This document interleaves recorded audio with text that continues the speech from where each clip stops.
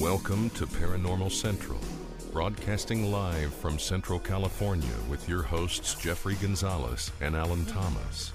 Broadcasting video worldwide at paranormalcentral.net and broadcasting audio on the Dark Matter Network at artbell.com. Are you ready to witness something that you cannot explain?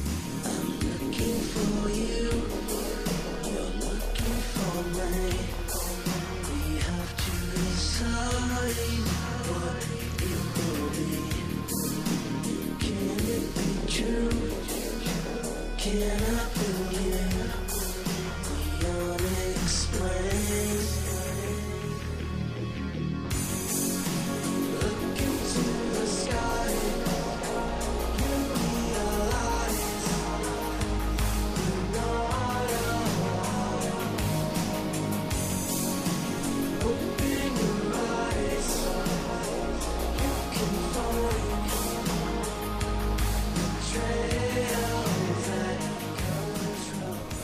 Hello, everyone. Welcome back to another episode of Paranormal Central broadcasting live from the bottom left hand corner of the Nevada Triangle.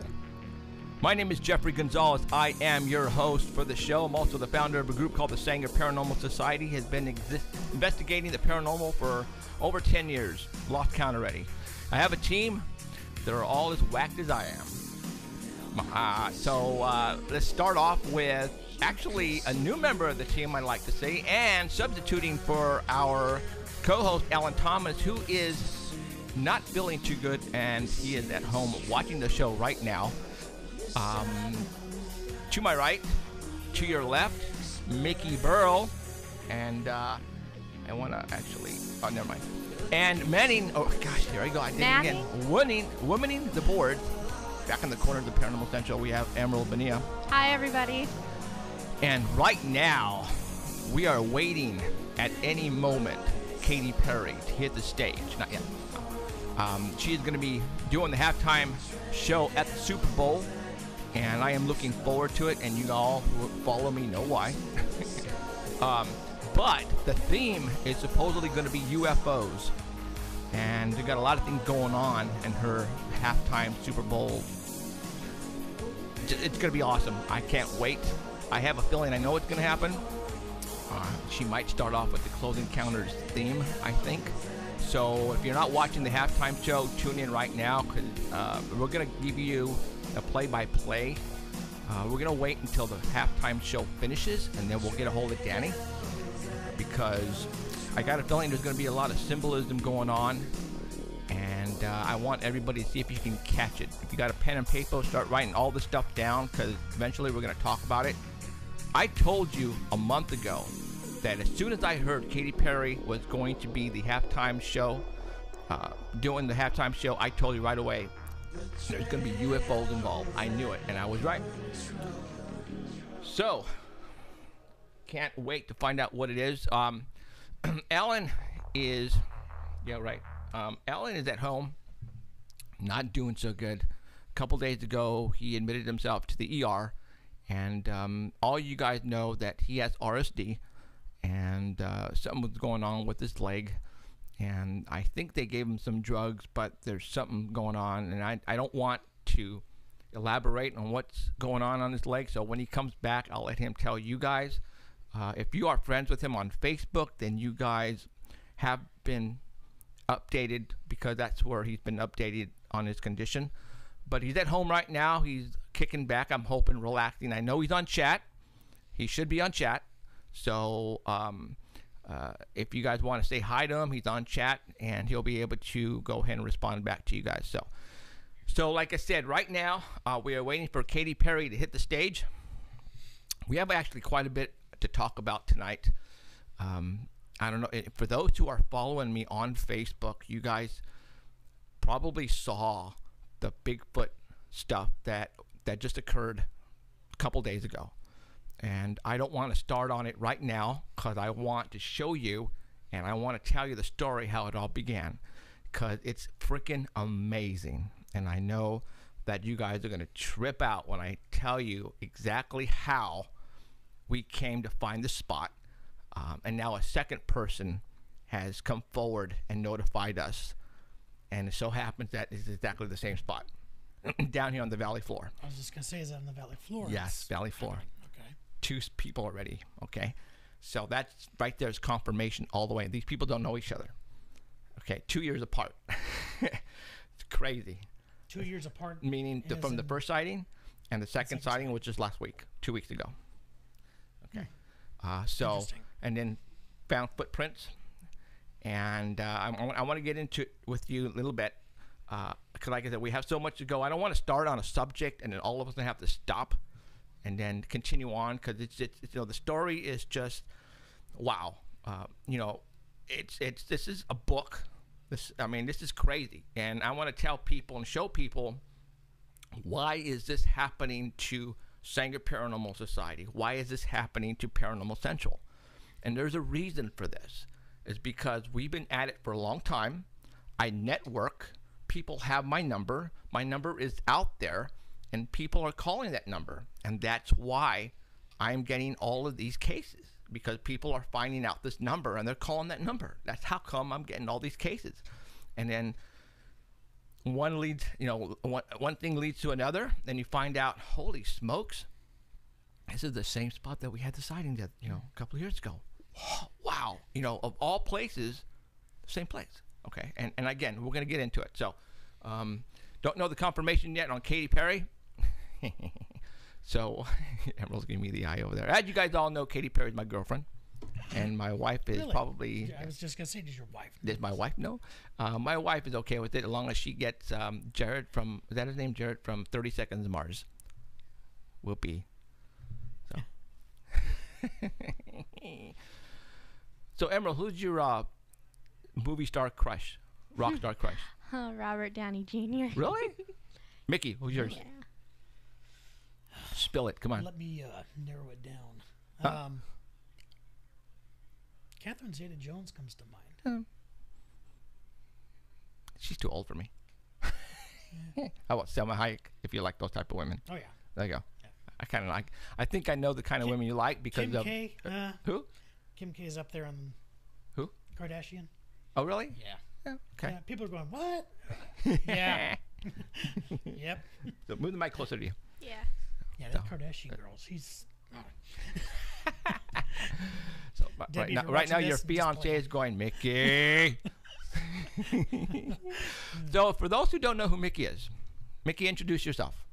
I'm Mickey Burrow. Um, I am Jeff's friend. Um, We're friends. We're friends. I You know what? hope. Pick, pick, I up, think pick, pick, pick up the mic and then cl- bring it closer to you, way closer. You gotta How's that? like make out with it. Yeah, I mean no, uh, swing the mic up like this. Bring the boom box and, and literally it's put it in front of your face. There you Like go. that. There you Yeah. go. Okay, that's better. Right, go for it. Make out with it. I'm Yeah, that's right. far from making out with that.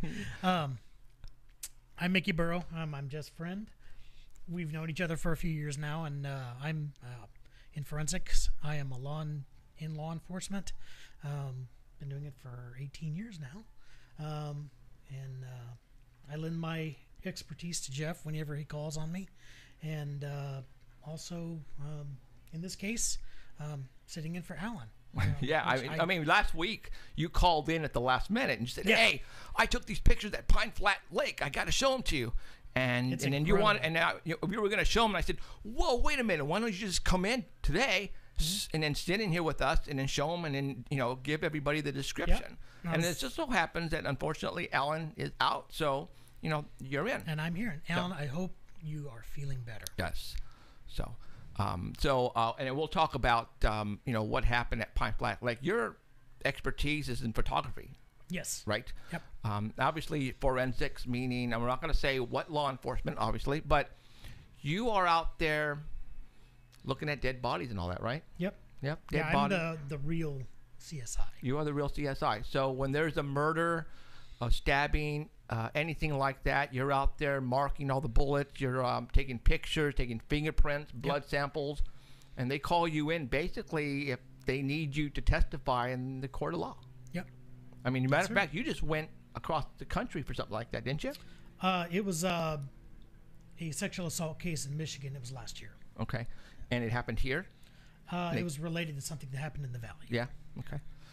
So, um, wow, very cool. Um, All right. Uh, I'm looking at the TV. We got a massive. Well, I don't say massive. We got a TV in here, and Katy Perry's not on yet. So, uh, you know, okay. Well, let's go ahead and continue on. Just Hold on. oh, hold on. Hold on. Half halftime. Halftime. Halftime. There we go. Halftime show. Hold on. All right. Time out. So, okay. So, for those who are listening, oh, crap. Aw, Oh, commercial. crap. Yeah. So, for those who are listening on Art Bell, um, we will. I will try to. I, I, I don't. You know. I don't really want to narrate the thing, but if there's any cool stuff, I'll I'll go ahead and describe what we're what we're watching on on the screen. So, um, you know, in a little bit, you know, right now, for those who are watching us at livestream.com, obviously you're seeing our ugly mugs right now, and eventually we'll show you some pictures, and you can also see the pictures at artbell.com. It's starting. It's starting Pepsi. Yeah, it's my drink. A UFO. Look at look at look at that commercial. Look at the Yep, commercial. there Look it at the goes. birthday. So actually, you know what Pepsi did on Friday is they tried to um, imitate these the, the the Phoenix lights that occurred. I heard about that. Okay. I Saw that today. They actually had balloons and they were going to let them go up, but FAA did not allow them to do it. This isn't a commercial. This is the show. no, it's a commercial. No, they took her wig, I missed it. the blue wig. Okay, here we go. Here we go. Okay, the the uh, halftime show is starting. Obviously, Pepsi is the sponsor because all I see is Pepsi everywhere. All right, so um, I'm going to try to narrate it for you guys who are at Art Bell, and let's see. You know, I've, obviously I can't listen. Is it starting off with cold encounters? She's talking. I like the cat. So she is on top of a very large animatronic type cat. of. Very cool. it's moving. Holy smokes! Oh How much God. money did that cost to make? I want one. Can I have one, Jeff? Holy, okay, I'll buy you one next week. Okay. Um, but that is pretty dang cool. That obviously Pepsi's you know forked up a lot of money for this, but uh, she's riding on a very large robotic animatronic um, Tiger. I think and it's a lion. prob. Oh, you know It's what? a It's not. lion. The people are moving it. See, on the bottom, do you see the people at the very bottom? They're just dressed in moving black. it. Yeah, they're moving it. So it's not so I still want one. but um, it's about it's about uh, 20 feet high and she's at, literally at the very top like on the uh, collar you know holding it and trying like she's riding it basically so It's a tiger. it's a tiger huh okay with red eyes oh symbolism right Oh, there shut up. red eyes She's singing yes, i caught that i Red caught that huh? red eyes that's evil What right does there red eyes? dark evil I get red eyes when I'm tired. yeah you're dark you're evil you're oprah She's giving you. Don't red even eyes go right there. now. Don't even go there. we'll talk about that later on too. No, we won't. Yeah, we will. I'm not gonna start shit. Whatever. Shh. So this has got to be. This has got to be. Oh, that's this so has got to be roar, right? Roar. Yeah, this is roar. Okay. I, I can't. We can't hear you guys. We have the volume down because you can't allow that to go over the air, because that's um, basically copyrighted by the NFL, and we can't allow that to happen. So. Now she's singing Dark Horse. Dark Horse, all right. And Dark Horse, she's singing, and right now they are. She's on top of a platform of chest. Uh, just picture a large chest plane table, and uh, all the chest pieces are actually people dressed up. Uh, well, Can I sing chest, along? I know this song. Yeah, whatever. And Dark Horse, and that makes sense because of the uh, the horse pieces, with the knights, right? I'm not a chess player, so I hope I got that right. Um, so right now she's singing on top of a very large, lighted up chest table, and the chess pieces are people, and they're dancing around with her, and she's singing. Um, so far, I haven't seen anything with UFOs, which is Except for the beginning with just a Pepsi. The thing. Pepsi thing, Yeah. yeah. So hopefully something here will change. Because I my like sources were telling me halftime that there was going to be some UFO action and some space and stuff like That might have been it. Oh, that's no, kind of that cool. better not be. I'll be ticked off, man. So, anyways, um, okay, there's Lenny Kravitz. He has the guitar. he's gonna be playing. I'm gonna go inside and watch this. Whatever. it's gonna be on YouTube tomorrow. Trust me. You'll be able to see it on YouTube. Uh, so, oh no, just to let you guys know, I'll know um, if you guys are chatting, trying to get a hold of us. Alan is usually the person who uh, on the chat, and uh, so uh, you know, obviously he doesn't have. Oh, okay. They're saying the stadium was the UFO that landed. That's why it's circle, Uh, Really? apparently. That's boring. I wanted something else to go on. What's up with that? So, okay. Well, let's. Uh, I believe the whole halftime show is about 12 minutes long, according to what Katy said. It's about 12 minutes long. So um, right now she is, you know, singing on stage with Lenny Kravitz. Lenny Kravitz is playing the guitar, and that's basically it. That's all going on right now. Nothing very exciting. I thought it would be more elaborate and more exciting than this. So so far, it hasn't really been, you know, it hasn't met my expectations so far. That'd be funny if her wig fell off right about there. She's not wearing a wig. Yeah, she has. She has, she has short hair. Does she? Uh-huh. Oh, I don't know this stuff. I do. And you want to know why? Because you love her. That's know- right. You know all about it. That's right. You stalker. That's almost both of you guys at the same time. Oh man, you guys suck. All right. Um, now what do we got? Oh, this has got to be um, what song is this? Okay. California girls. There you go. See, you know. Okay. Look at quick change. So right now she's on stage and she's wearing a very skimmy outfit, my kind of outfit. Oh my God, And she's on stage with a bunch of uh, dancing surfboards and pineapples and And palm beach trees balls and, and beach sharks. balls. Uh, yeah, Seen California here. Wait, is this California girl? it has to be California girl. She said from her interview that it, it you know her tour shows uh, it's about like about two hours long. She said it was just going to be basically her tour setup, and and they're going to condense it to twelve minutes. Oh no, this is Teenage Dream. Oh, Teenage Dream. Okay. I can't hear it. That's why. Yeah, yeah. Well, I'm, I'm trying to. I got the um, the what you call it on the uh, screen there. So right now, Katy Perry is on stage and now, like I said, a different outfit, and it's more like of a bathing suit type of you know beach wear, and uh, she is singing with a bunch of beach balls and palms and sharks. so, um, yeah, not meaning what I thought was going to happen. So it would be cool if a UFO came down and abducted her and took her away. Then I would be happy. so we got five minutes left. Uh, again, still in the same routine. She is surrounded by water in the ocean. Now she has some singing girls up there in bathing suits. So if you guys are not watching this, you guys should. And this is like right in the middle of the uh, stadium, obviously. Um, Yeah, now this is California girl. it's California girl, yeah. So, so uh, at, you know, she is still on stage, guys. Sorry, I'm trying to narrate this for those who are listening in Art Bell. I apologize, but you know, I wanted to watch this only because of some symbolism. She's really good at placing symbolisms in her music videos. And if you guys don't remember her, the Grammy performance she did a while back on Dark Horse, it was very dark, very dark symbolism of Egyptian. Um, a lot of people said it was a a, uh ritual, a dark ritual, uh, and it had all that in it.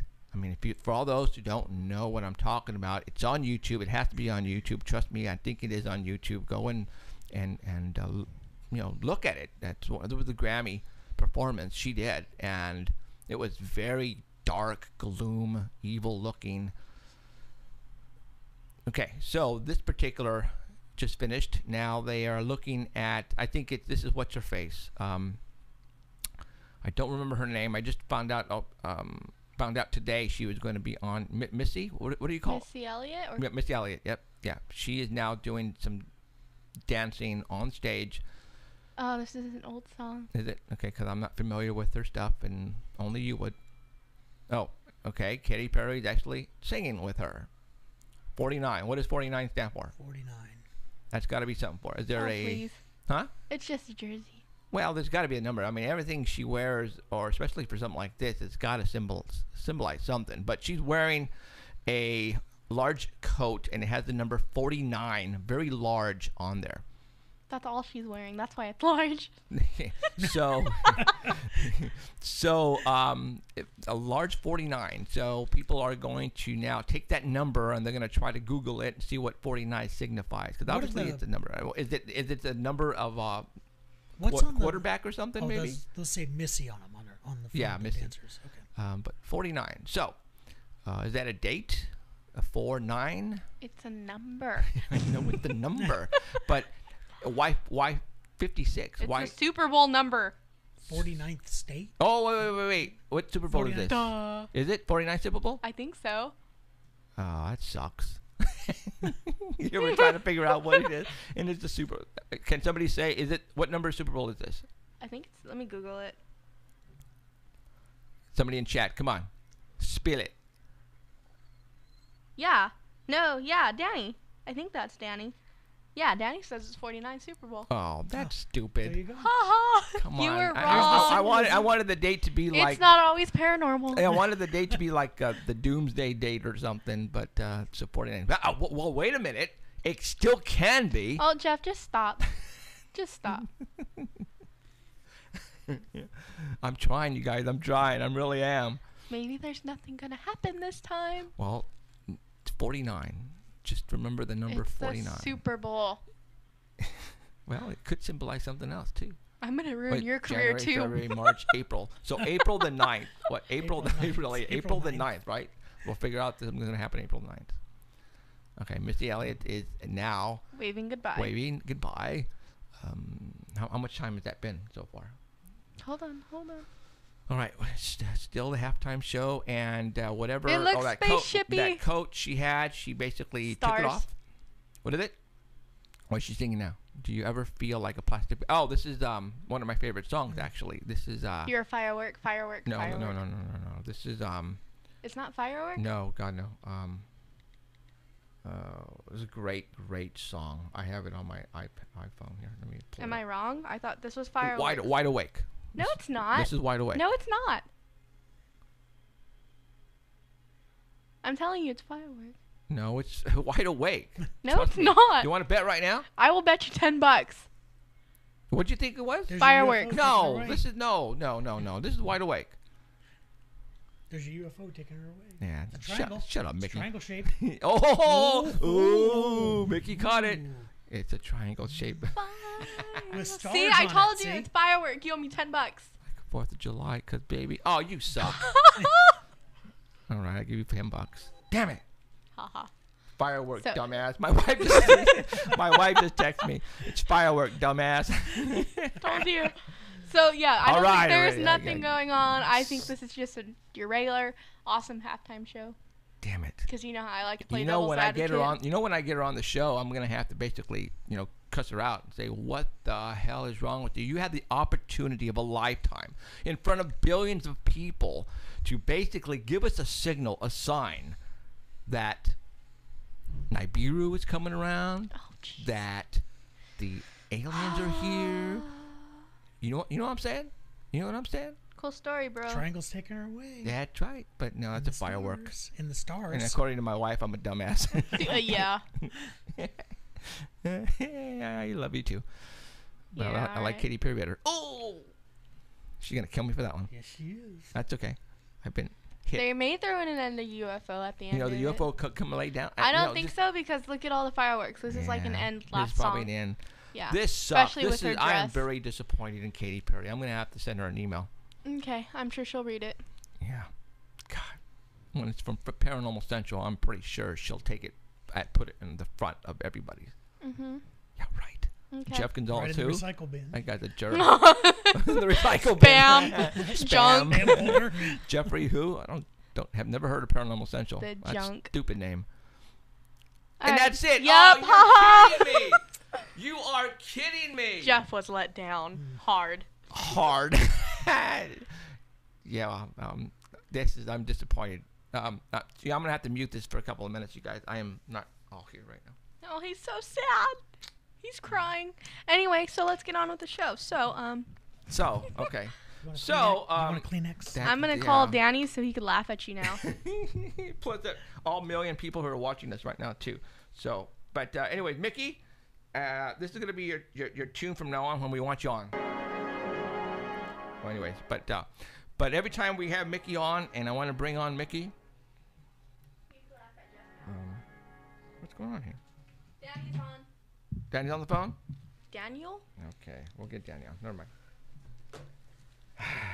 Danny, How come she gets paid? what? How come she gets paid? Ha ha ha. How come she gets paid? Yeah, she gets ten. She gets ten bucks. Because I, Because she I bet bet That's you. all you're gonna pay her is ten bucks. That's he doesn't pay me nothing. Why? What? What do you want, Danny? A slap? What do you got? Wait, wait. hey, Danny. Hey, J- uh, Mickey. Uh, yeah. Okay. Whatever. I'm disappointed right now. I am so let down. You I'm- missed the, the UFO that that went across the city and then landed there. It was it was the stadium though. see that that just. Uh, wife, can you bring him some hard liquor so I can put in the soda for me, please? She's too busy looking at Jared from Subway. Is he on here? No, that uh, what's his face? That's uh, Rose. No, Okay. All right. Jared Leto. Okay, talking Jared Leto. Jared Leto's not on there. What are you talking about? about. No. Okay. All right. Whatever. I'm disappointed. I am hurt. I am so hurt right now. It's not even funny. okay. All right. Let's get on with the Squatch report. For those who don't know, Danny Valderrama is our hairy Squatch reporter. Have been for a long time, and uh, he is going to give us the. Uh, the 10 cents on what's been going on in the past week. So, Mr. Danny Valderrama, for those who are looking at us right now, I'm going to put the pictures up one by one. And if you want to see the pictures, you can go to artbell.com. They will be on there as well. And you can just follow along with Danny's report. And we got the first one up. And this just happened actually yesterday, right? No. This. Oh, what picture do you want me to go first, though? Tense. Okay. That's right. You had them backwards, huh? Yeah. I'll fire you I don't know how tomorrow. that happened. There's too many of them. Okay. They got all jumbled. All right, go for it. All right. So hello, everybody out there, and for our Spanish-speaking friends, hello. Okay, we got. I, I got the I got the one with the Jeep and the ten on top. All right. This is uh, from the Genesqua Project Ohio page from January 30th, and this is a Bigfoot tents. It's a, a new type of tent that's coming out, and it's it's from a company in Huntington Beach, California. And these are rooftop tents, and they can fit on any uh, car or truck, and you can make all your dreams come true. You can camp anywhere, no last minute motels, and you know you can. Uh, it folds some of them. Up. There are different types of um, these that are you're showing right now fold flat, so there are no poles to put up. You just uh, flip the switch and, and it raises up, and you're ready to go. You can save on space at the campground, and uh, for that little area that we have when we go, Right. you can sleep right up on top of the car. So okay, so can this fit in back of a pickup? You know what? When it when it goes down flat, I didn't include the pictures because I had a lot already. Okay. But it just that's the size of it right there. The Oh. the little outline there. You just it just collapses straight down. So so I can sleep in there and you guys can sleep on the floor. So it's like a pop up. Well, they actually have a picture in one of the pickups where they turn them sideways, and you can fit two up there. Oh, okay. So um, almost everybody could have their own. You can probably fit two on a roof on the big trucks. Okay. It seems kind of risky sleeping on top of a truck. What if we roll off? But they are hard shell, top and bottom, Okay. and then the fabric in the middle. So you won't have to worry about leaks or the tent blowing over in the middle of the night, and you won't have to worry about scorpions or critters or anything like that. Or bears. Uh, You know, but had that. but isn't that such a perfect height for a Bigfoot to come looking into your? Uh, That's what I thought. That's what they. That's why they need the Bigfoot. Bigfoot. so so what's the name of this particular? Those are all Bigfoot tents. That's the name of the company. Tent? So you, you he's at, you're pretty much at eye level with him now. Right, right, and that's kind of scary, don't you think? So if you go to the next picture, it's kind of a close up. Okay. Yeah. It kind of looks like a casket. So if he does Yeah, stick it your head, his head in there, you're pretty much dead. So you got a casket already. well, so much for sponsorship from this company now. the, the price on these is uh, between thirteen hundred and twenty six hundred. There's about six different styles that they have, or six different looking ones. There's two styles. Okay. One's the uh, soft top A-frame type, and that's the last picture. It's kind of a, a bigger one right. with the ladder in the middle, and then the other ones are the hard shells, and they hold up to six hundred pounds. So you can get a Bigfoot in there. Yeah, among other things. All right, and uh, wow, well, and they have a Facebook page, uh, Bigfoot Roof Rooftop Tents, or, or uh, BigfootTents.com. okay. So then, what we are looking at is if you have like a SUV type of vehicle, this will work fine. Yep, or a car it says. A car, huh? On some cars. Huh.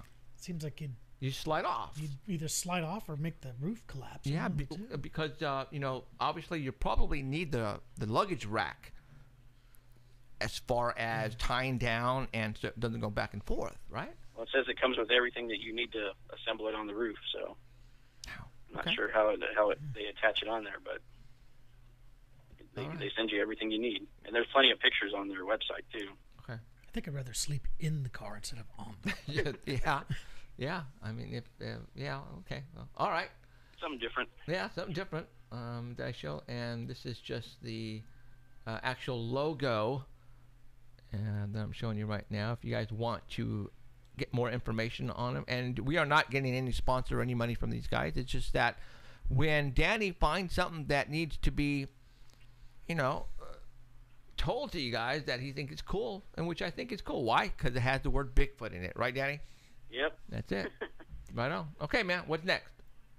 The next one is a digital face. The digital face. All right. This is let from January Oh, 26th, from, also this. from the Jenna Squaw Project Okay. page. And this one has four pictures in it. And the first picture is uh, this is a digital face created by Ruben Steindorf. It's from the Visual Realm company, and he used a 3D digital animation to create Patty's face. You remember Patter- Patty uh, is from the Patterson Gimlin film of 1967, Mhm. and you can see where he put the face. You can still see the outline of her hair there. So she kind of has like a human face. Okay. I see a lot of interpretation in this, though. Yeah. When I say interpretation, I mean we're talking about an eight millimeter. Was it eight millimeter or sixteen millimeter? Oh, I don't know. Film You would know Uh, better than me. at 16 at probably. forty Oh, yards, thirty yards, whatever it was away. I mean that's a that's going to be so grainy. I mean, how can they? How can they do that? yeah. So this is just one person's interpretation, Interpret- which it can yeah. mean absolutely nothing. Because from what I understand, for those who believe in Bigfoots, Bigfoots come in different sizes, shapes, different noses, mouth. You know, some look like gorillas, some look like monkeys, some look like human. So it's, you know, but this particular one, hey, I don't know. I wasn't there. I didn't do it. So. There's a big lips, big nostrils, kind of looks like a car window. I know. Uh, yeah, it does actually. Yeah. Very, yes, it does. And Mickey would definitely know about that because uh, Mickey is the one who swabbed and took pictures of the DNA for us. So, all right, what's next? So Uh, the next picture is a Russian boxer. This is Nikolai Val- Valuev, okay, and he's a close match to the to the picture that was just up.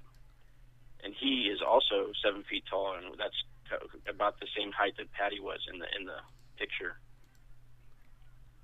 In the video from 1967, Patty was about seven feet tall. Okay.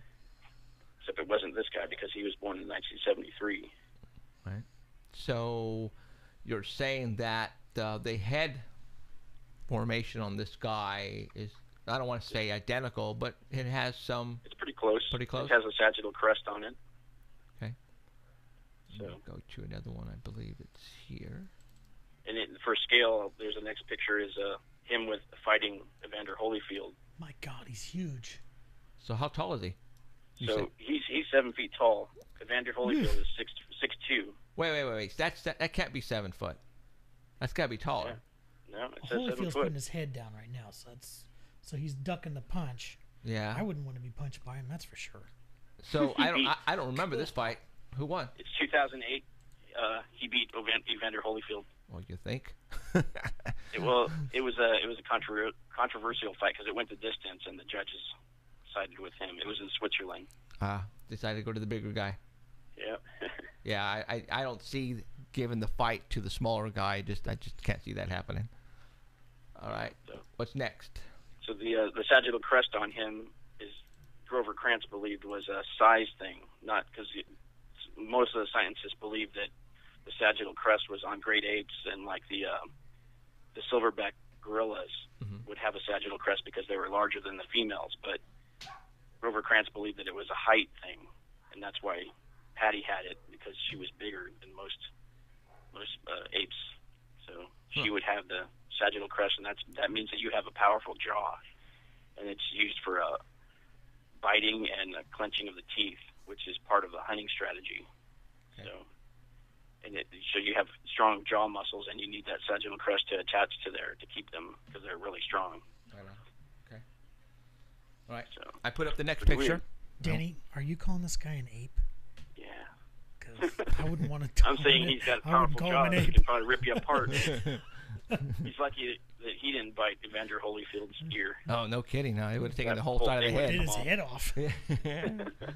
that would have been bad. So, okay. Now let's go to the The last one has the, seven pics. the Thinker Thunker, right? Yep. Okay. Seven pictures on this one? Yeah. Uh, oh, do I get them all? I don't know if I got them all. I'm pretty sure I do. You gave me a lot of pictures, though. All right. Number Yeah. one. Go.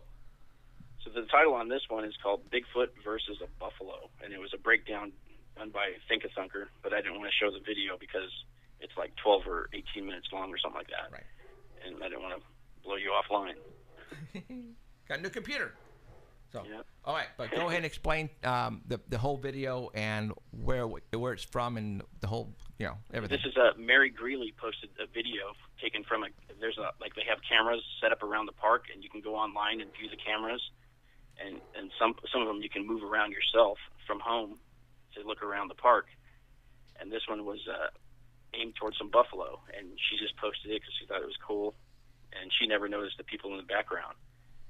So somebody sent it to Thinker Thunker, and uh, he spotted movement in the background.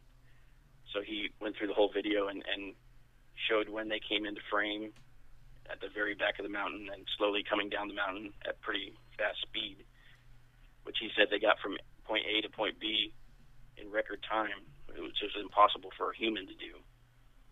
And then that you can see them getting closer to where the buffalo were, and then one comes out by himself in kind of a weird walk, and he's saying that he's getting ready to attack the buffalo, and he try he tries to do a size comparison, and he says that the uh, the human or whatever it is is is twice the size of the buffalo, right.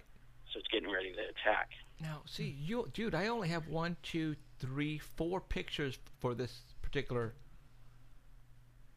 I have Well, they're that- all up on um, okay, Art they're- Oh, I, I, that's the only ones I got here, and I numbered them. I went straight down one, two, three, four, five. So I got four pictures. Um, if Art Bell got them all, then they're on Art Bell's site if you want to see them.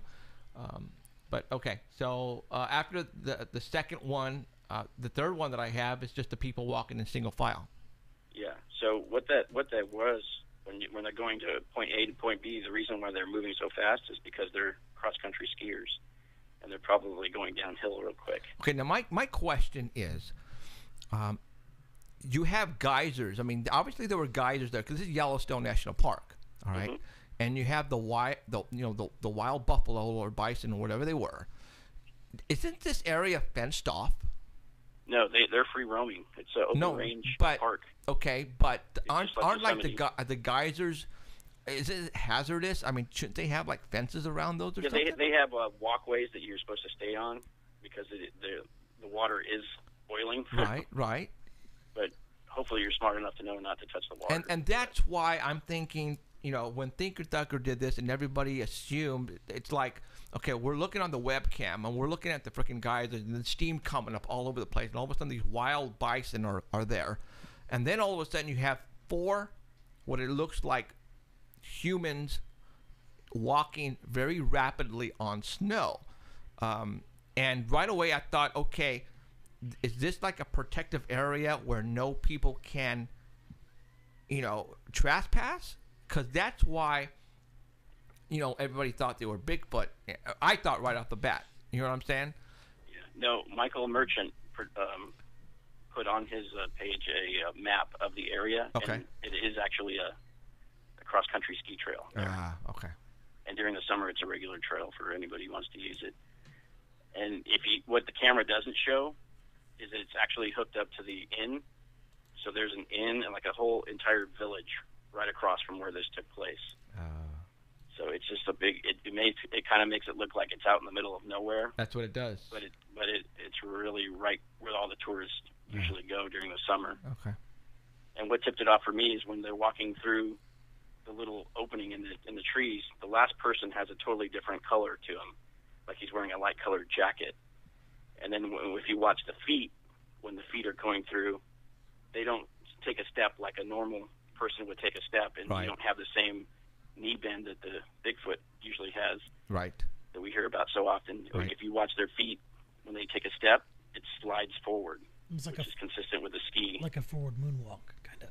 Yeah, Like kind of like a moonwalk, a forward moonwalk. But uh, if you watch their hands too, even though you can't see the poles because they're so skinny and the car- and the camera's so far back, you can't see the poles, but you can see their hands, and it does look like they are moving poles. And then when the guy goes out by himself, he has a weird walk when he's out there. Right. It's because he's only using one pole. If you watch his other hand, he's like holding a camera or something, and he's taking pictures, which is why he's he's trying to maneuver with only one arm and one pole.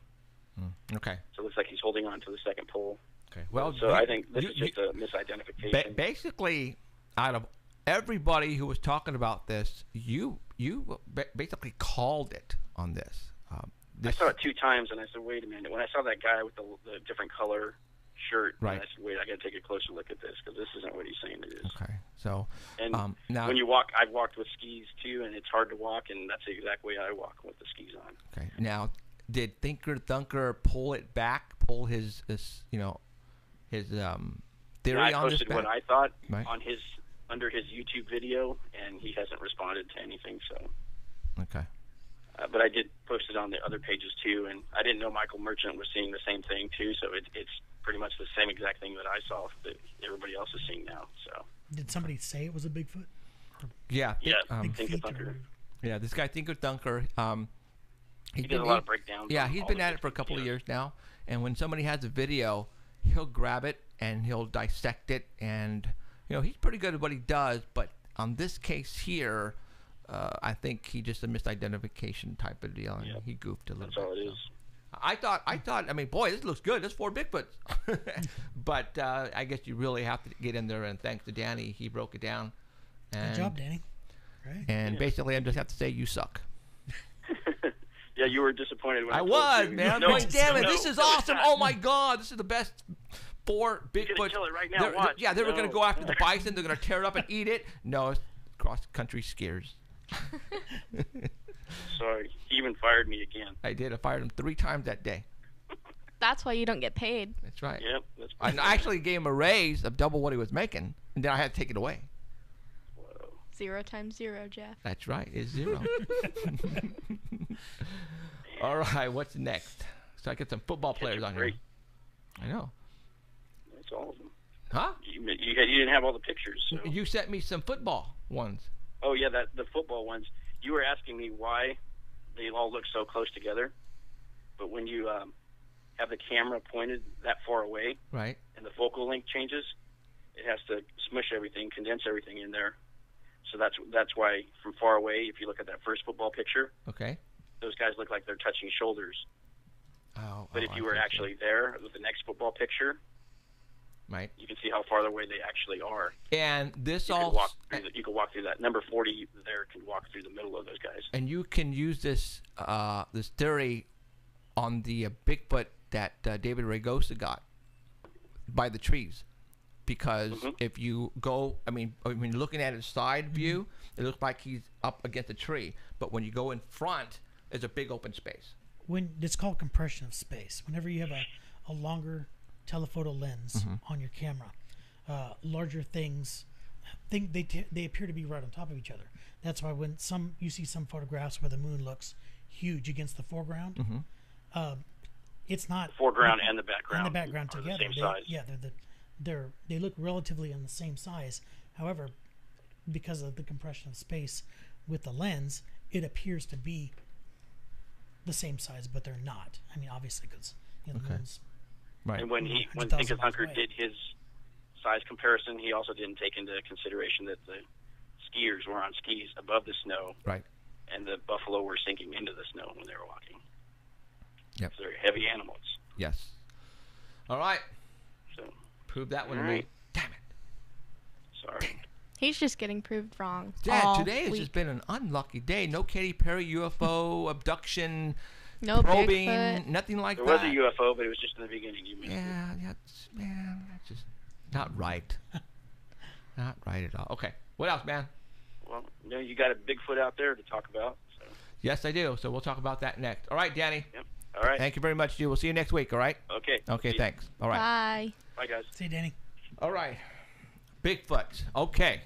I am so excited, and I am so sorry, Alan, that you couldn't be here because Alan, um, you know, Bigfoot is Ellen's, you know, cup of tea. That's His that's forte. that's forte. This is this is his thing. I mean, he loves freaking Bigfoot. All right.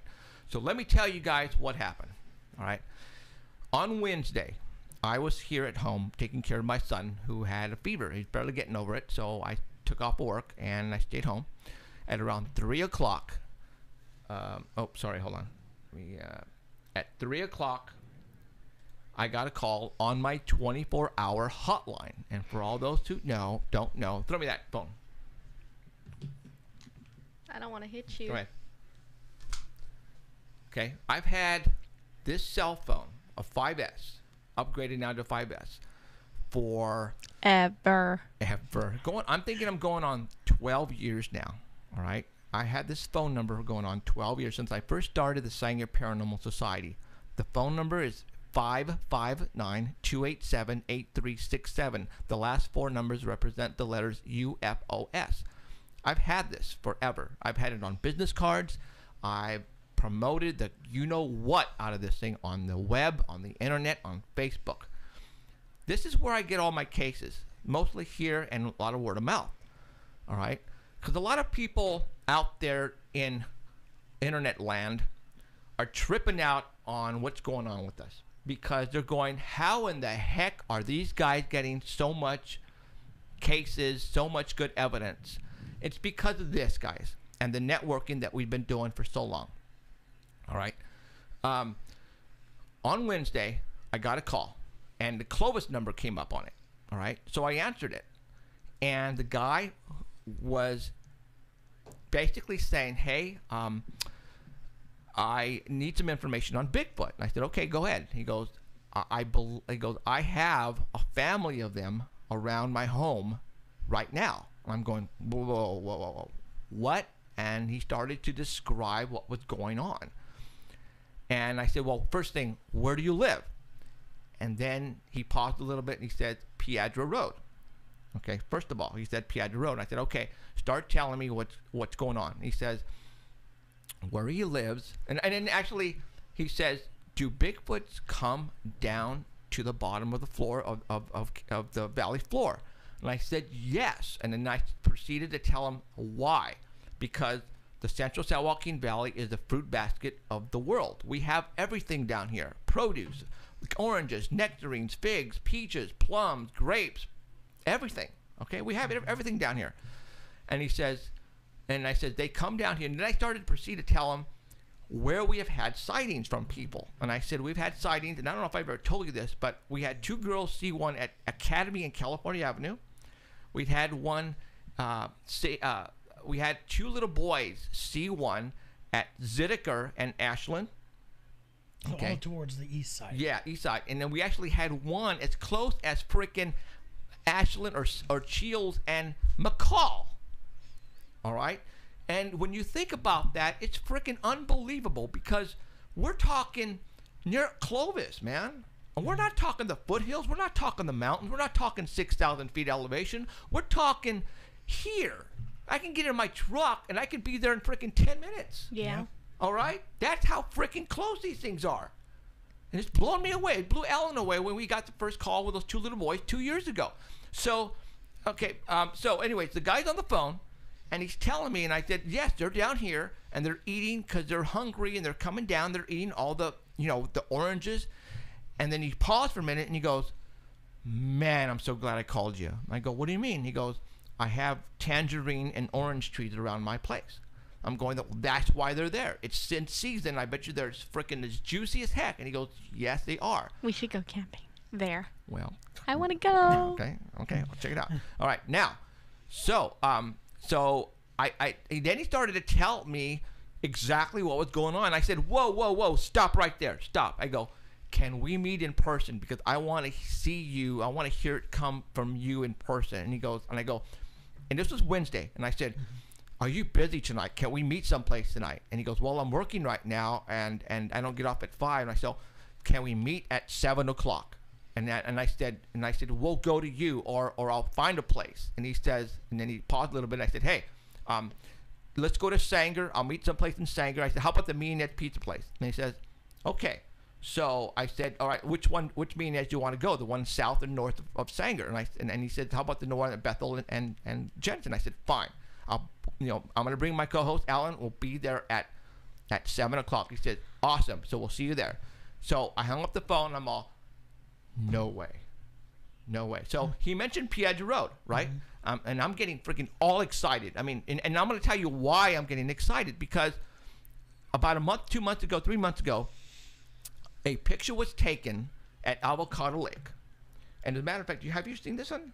No. Okay, I'm gonna have to give it to you so you can analyze it. Anyways, it was at the Kings River near Avocado, and there's this thing that's running, and somebody took a picture and tweeted it to Matt uh, Moneymaker on the BFRO, and it- got out on the internet, and it said Avocado Lake, California, and I'm all, and, okay, well let me show you that particular picture Yeah, me see. right now.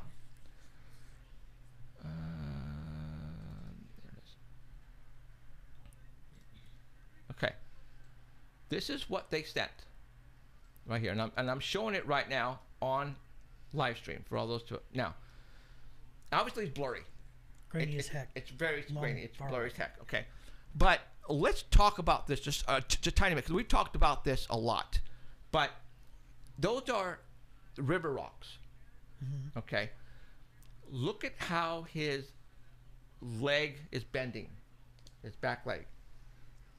See how his Okay. leg's bending? Yeah. Okay. Being that we talk a lot about Bigfoot, we have come to realize how sort of how they walk.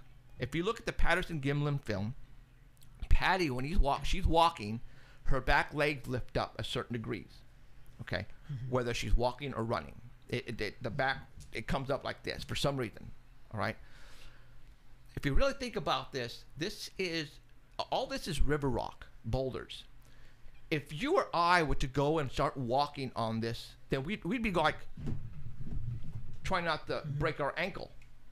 Right? Yeah. Okay.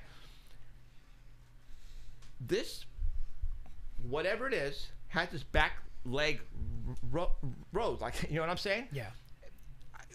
even if you tried to do that, it's it's not to me. That's not the proper way of a human to be walking. That's what caught my attention at first. Is this the full frame that we're seeing? Yes, that basically there was only one picture that was sent out, and this is it.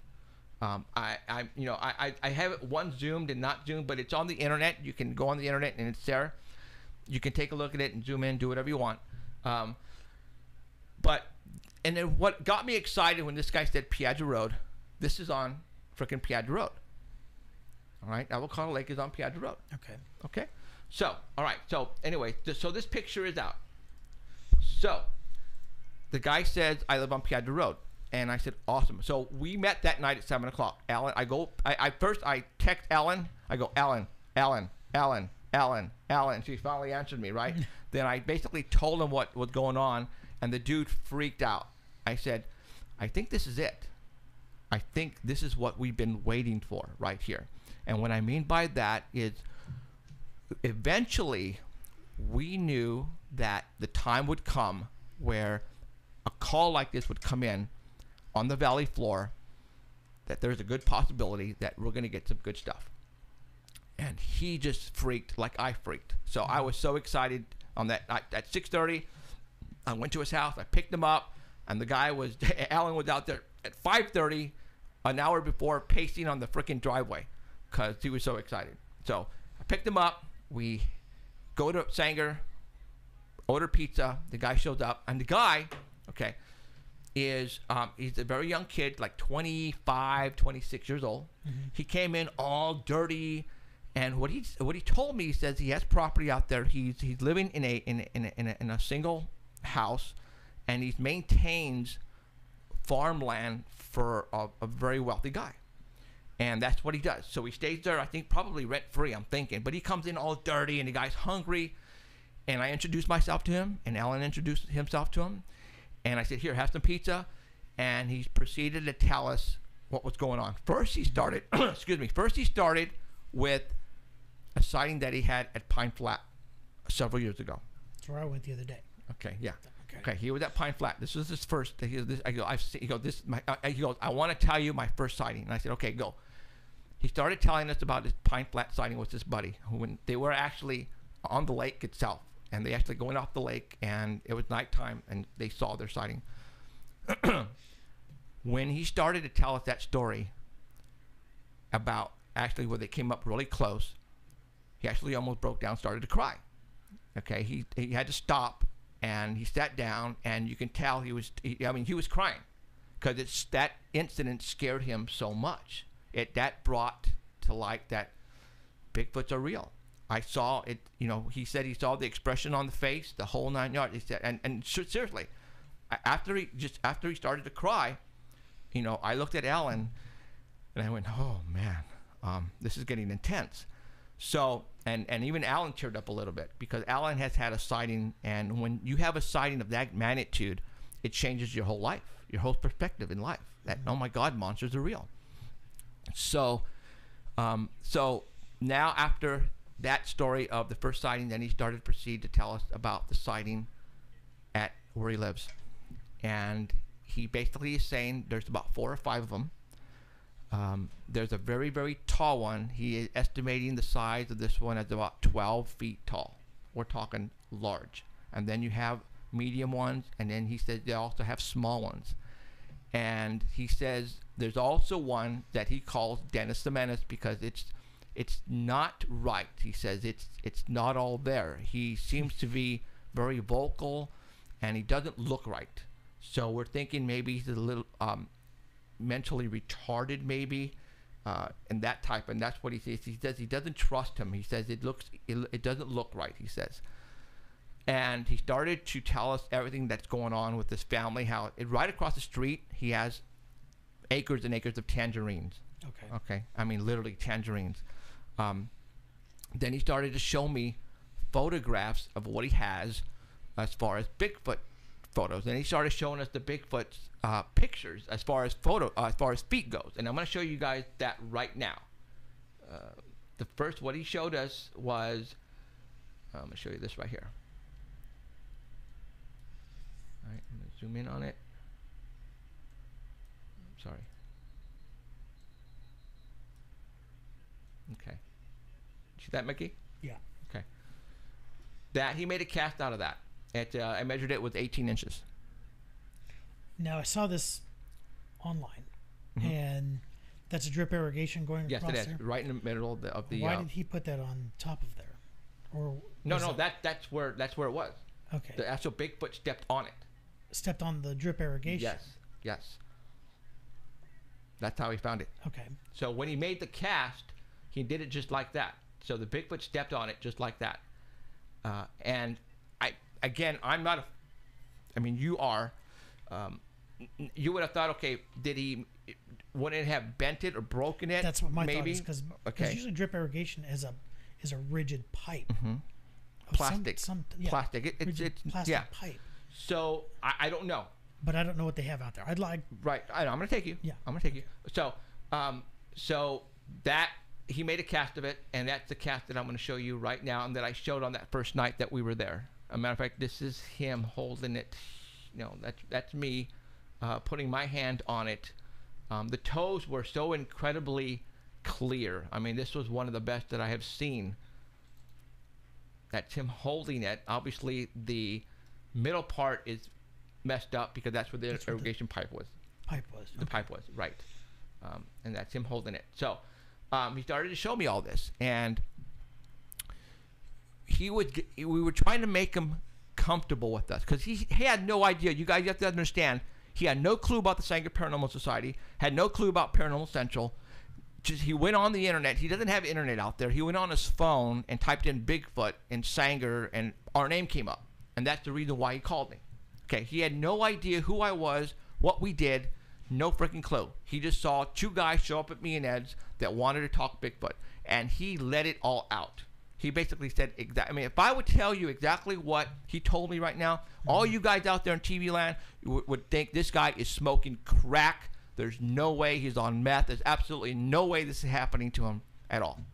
So, after he finished he says, "Man, I am so glad you guys are here because I needed to take that off because off my my chest." He says because I tried to tell people and no one would believe him, and uh, I said, dude, we believe you. I could tell he was not bullshitting. I can tell when you know somebody is telling a story, you know, you can tell. I can tell this guy was it. So, so he goes, he goes, um, I, you know, I want to take you guys up there, and I'm going, oh, awesome. I'm going, um, do you guys want to go right now? And I said, oh, yes, we want to go right now. But then he says, I lied to you guys. He goes, the place is not on Piedra, because it's on Riverbend. And I went, Riverbend, Riverbend. I quickly got on my phone. I Googled Riverbend, and Riverbend goes from north to south a long ways. Okay, and it's way closer than Piedra. All right, so so we finished. It was nine o'clock. Me and Ned kicked us out. He said, "You guys have to leave." And I said, "Okay, how do we get you a place?" He goes, "Follow me." He goes, "We're gonna go. We're gonna go down Jensen. We're going to make." And I'm not gonna say exactly where it's at because I don't want millions of people to go out there with guns and stuff, right? So, Yeah. but this is this is this is gonna be it's gonna get crazier now. Um, so we go down Jensen, make a left on Academy. You go north on Academy, and he says we're gonna take a ride on Shields. I'm all okay, cool. So we're following him. Alan and I are just like freaking kids on Christmas morning. Seriously, I mean we're peeing in our pants, leaving traces all the way down freaking Academy, and we're going down Shields now, and we're following them, And all of a sudden we pass the house. I'm going, dude. He goes, there's where those two little kids live that had the report last two years ago. He goes, whoa. You told Alan this? No, we, we, we oh, both know. okay. We, we both been there. We talked to him in person. Matter of fact, no, no. So, anyways, I'm going, no way. And then, not more than 30 yards, he slows down, puts on his blinker, and and he turns and he turns into his home. His home is across the street. We don't need to know. For hi- his homes, hi- hi- his house is across the street where the two little boys saw their Bigfoot. Now, Oh, okay. I thought you were trying to give a direction. no. Stop giving directions. direction. now let me ask this. I- Yes. I, just have to know this. Did he ever mention the the two little Nope. boys? Yeah, no clue. Did he? No clue. No clue. Nope. No. Okay. And then now check this out. maybe they maybe No. they relayed this story to him. No. Maybe he's like, Now, "Watch now check this." this out. He goes, uh, after we got down, I started screaming at him. I'm going, dude, dude. And he goes, what, what, what? He goes, I have two cameras set up over there right now. And he goes, where? And he goes, you know that little marshy area over there? And he's going, I mean, over there. He goes, and he goes, yeah. He goes, I have two cameras. He goes, we have two little boys right there at the corner who saw one. And he goes, no. I go, yeah. And then you just turn around and like, yeah, you know, and I'm going, I'm going like this. I'm going. You got to be frick. Even Alan is going. This is absolutely amazing. I mean, this guy does not know about that sighting because we have never plastered it any place. We have never posted it any place. Now you guys you guys had the cameras up before. What, two years ago. It's a matter of fact, the two cameras are there right now. Okay, so um, and but that that property is not. He can't get on that property because that's not that's not part of the property that he manages. Okay. Okay. The orange, as a matter of fact, the tangerines across the street is not where he farms. As a matter of fact, that belongs to another owner. All right. It just so happens that's where the Bigfoot are coming in through that through those tangerines uh, trees, and that's when I, I, you know, when we passed the house, I went, Alan, look, that they live right there, and he goes, he goes, no way. So confirmation, two sightings, literally in the same block. All right, in the same block. Right now, I have two cameras set up that have been at the same location for two years now, and we go back every, you know, three, four, five months, and I take the batteries out, get the SD cards, put the SD cards. We haven't got anything yet, but Okay. this place where I have the camera set up is a marshy area, swampish type of atmosphere, um, and there's a, a big, large pile of like berry, wild berry bushes, and that's where the two kids saw this thing walk in, and just it, it, it walked in there and walked right into the middle and disappeared in the brush, and then they, that's where the kids saw it. And it so happens that right on the other side of the little stream is the tangerines where he's seen his Bigfoots. All right. So I'm going, okay, this is just absolutely crazy. So we were talking with him that night, and he was taking us everywhere where all this was happening. Across the street, he says one was here. He pulled down the tree. Now, what's kind of cool though is that he had his buddy who was who had had his buddy who saw exactly the same thing with him. Okay. Okay, so this now we're talking two witnesses, um, and he was there witnessing all this with them. Let me let me pause you right here. Okay. Okay. Um, I don't want you to give too much detail about the sighting to everybody Okay, because you and I are going to go out there. right? Okay. Can I say, can I talk about the sign? Not yet. Okay. Um, let's just say that I'm going to do a. We're going to go out there Uh huh. and I'm going to look at this from the forensic side. Right. Okay. And I'm going to try and gather some more evidence. Okay. Okay. That we can examine. Right. Okay. I don't want to be specific on on the year. Okay. because in case these guys are listening, No, they're not. Um, hey, very good if they, possibility. if they yeah, yeah, yeah. I don't want there to be any trickery, Sure.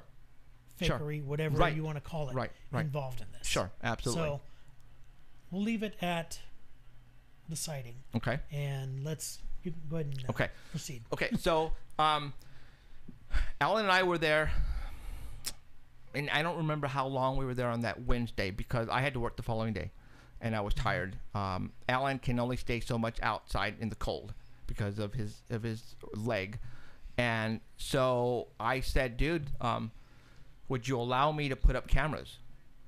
You know, and and and put them up around the house and face them out toward the areas. And he says, "Sure." sure, I'll let you. No problem. Um, and I said, awesome. Um, when can I come out and do it? And I told him I'll, I'll come out and do it on Saturday after work. And he said, okay. So yesterday, today's Sunday, right? Yeah. Yesterday after work, um, unfortunately, Alan was uh, at the ER taking care of his, his leg.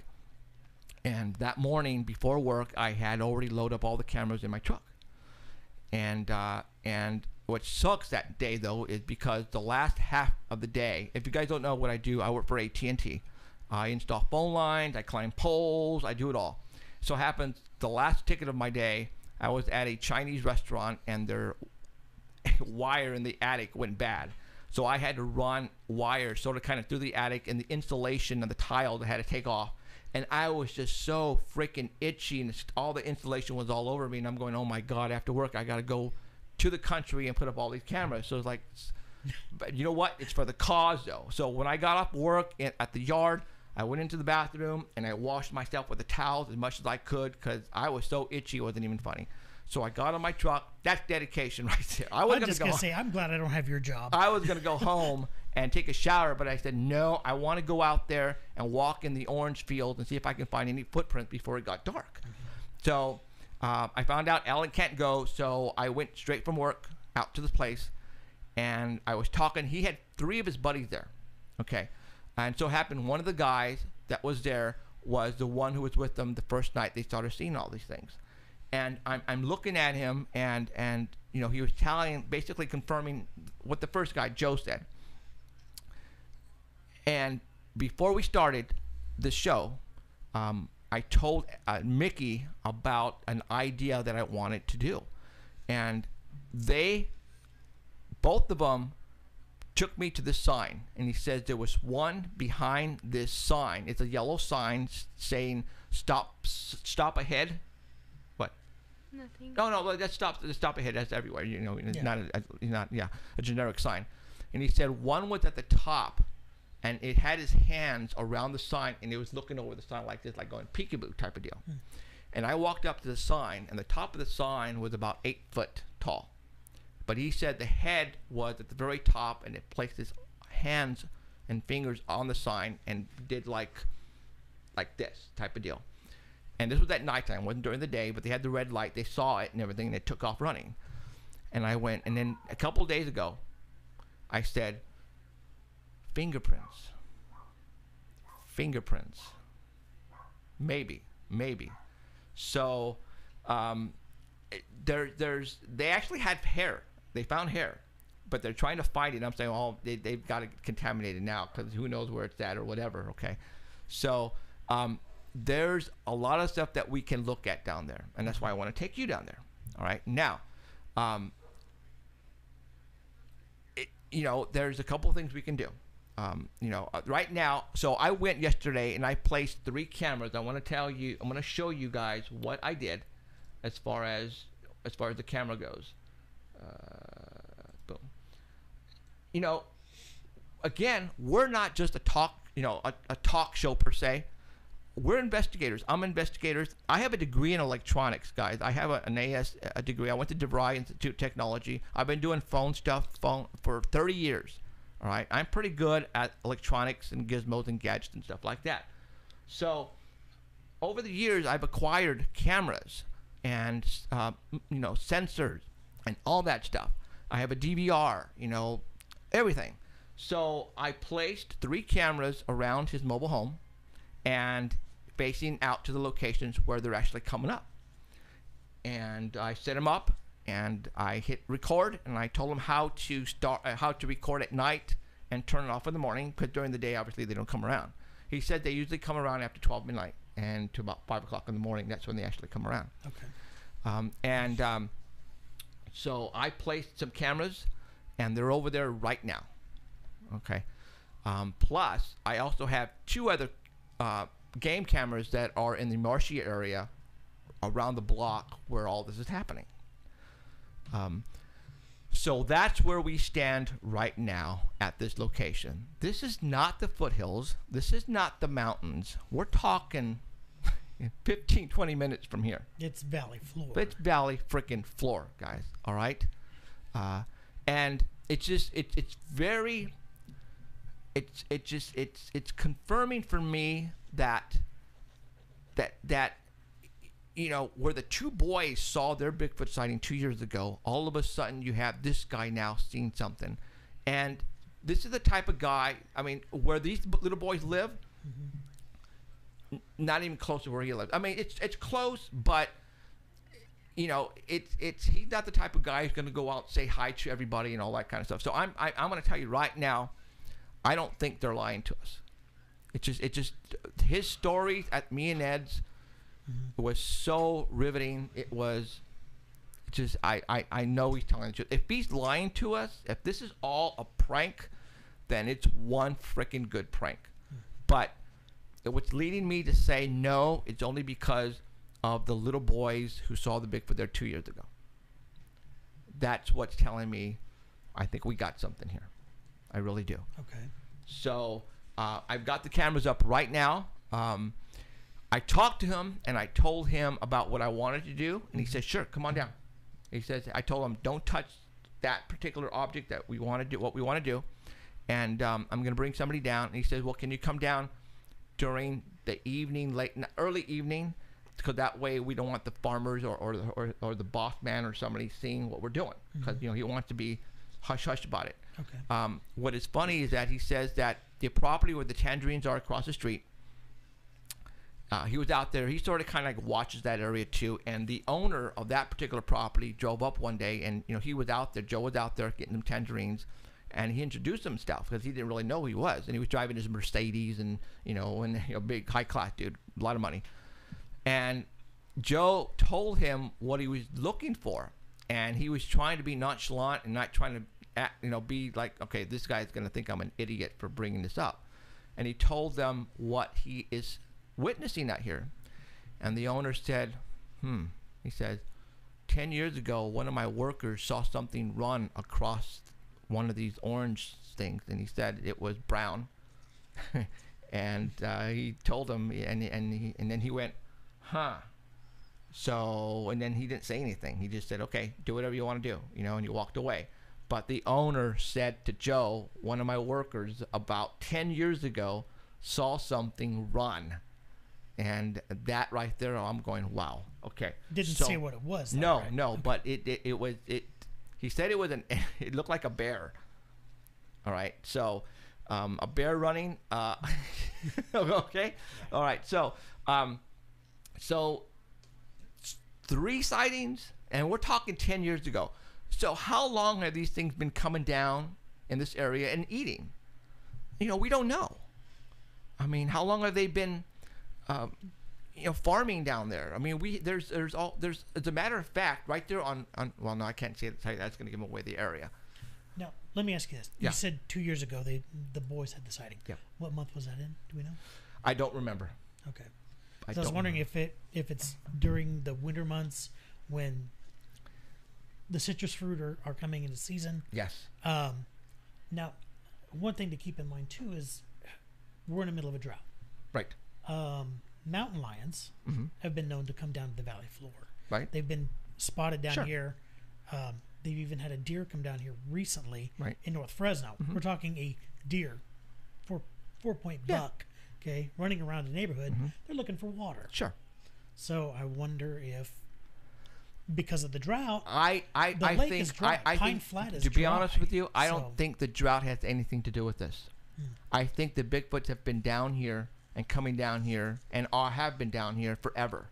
And I bet you anything that if we were to flyer all the houses in the whole valley floor in that area, I bet you some people would respond back to us about Bigfoot sightings. I bet you they're keeping their mouths shut because they're scared, and I know that they're, they're. I'm sure they've seen them. I'm sure because, you know, I've had police officer in Orosi see one. Um, guy that was a long time ago. I even lost contact with him. Him and his wife saw one walking across the orange fields. Uh, they're coming down here this low, um, and and you know, during the summer months, they go right back up because it's too freaking hot down here. I mean, right? So I think I'll all go those, there with them. yeah.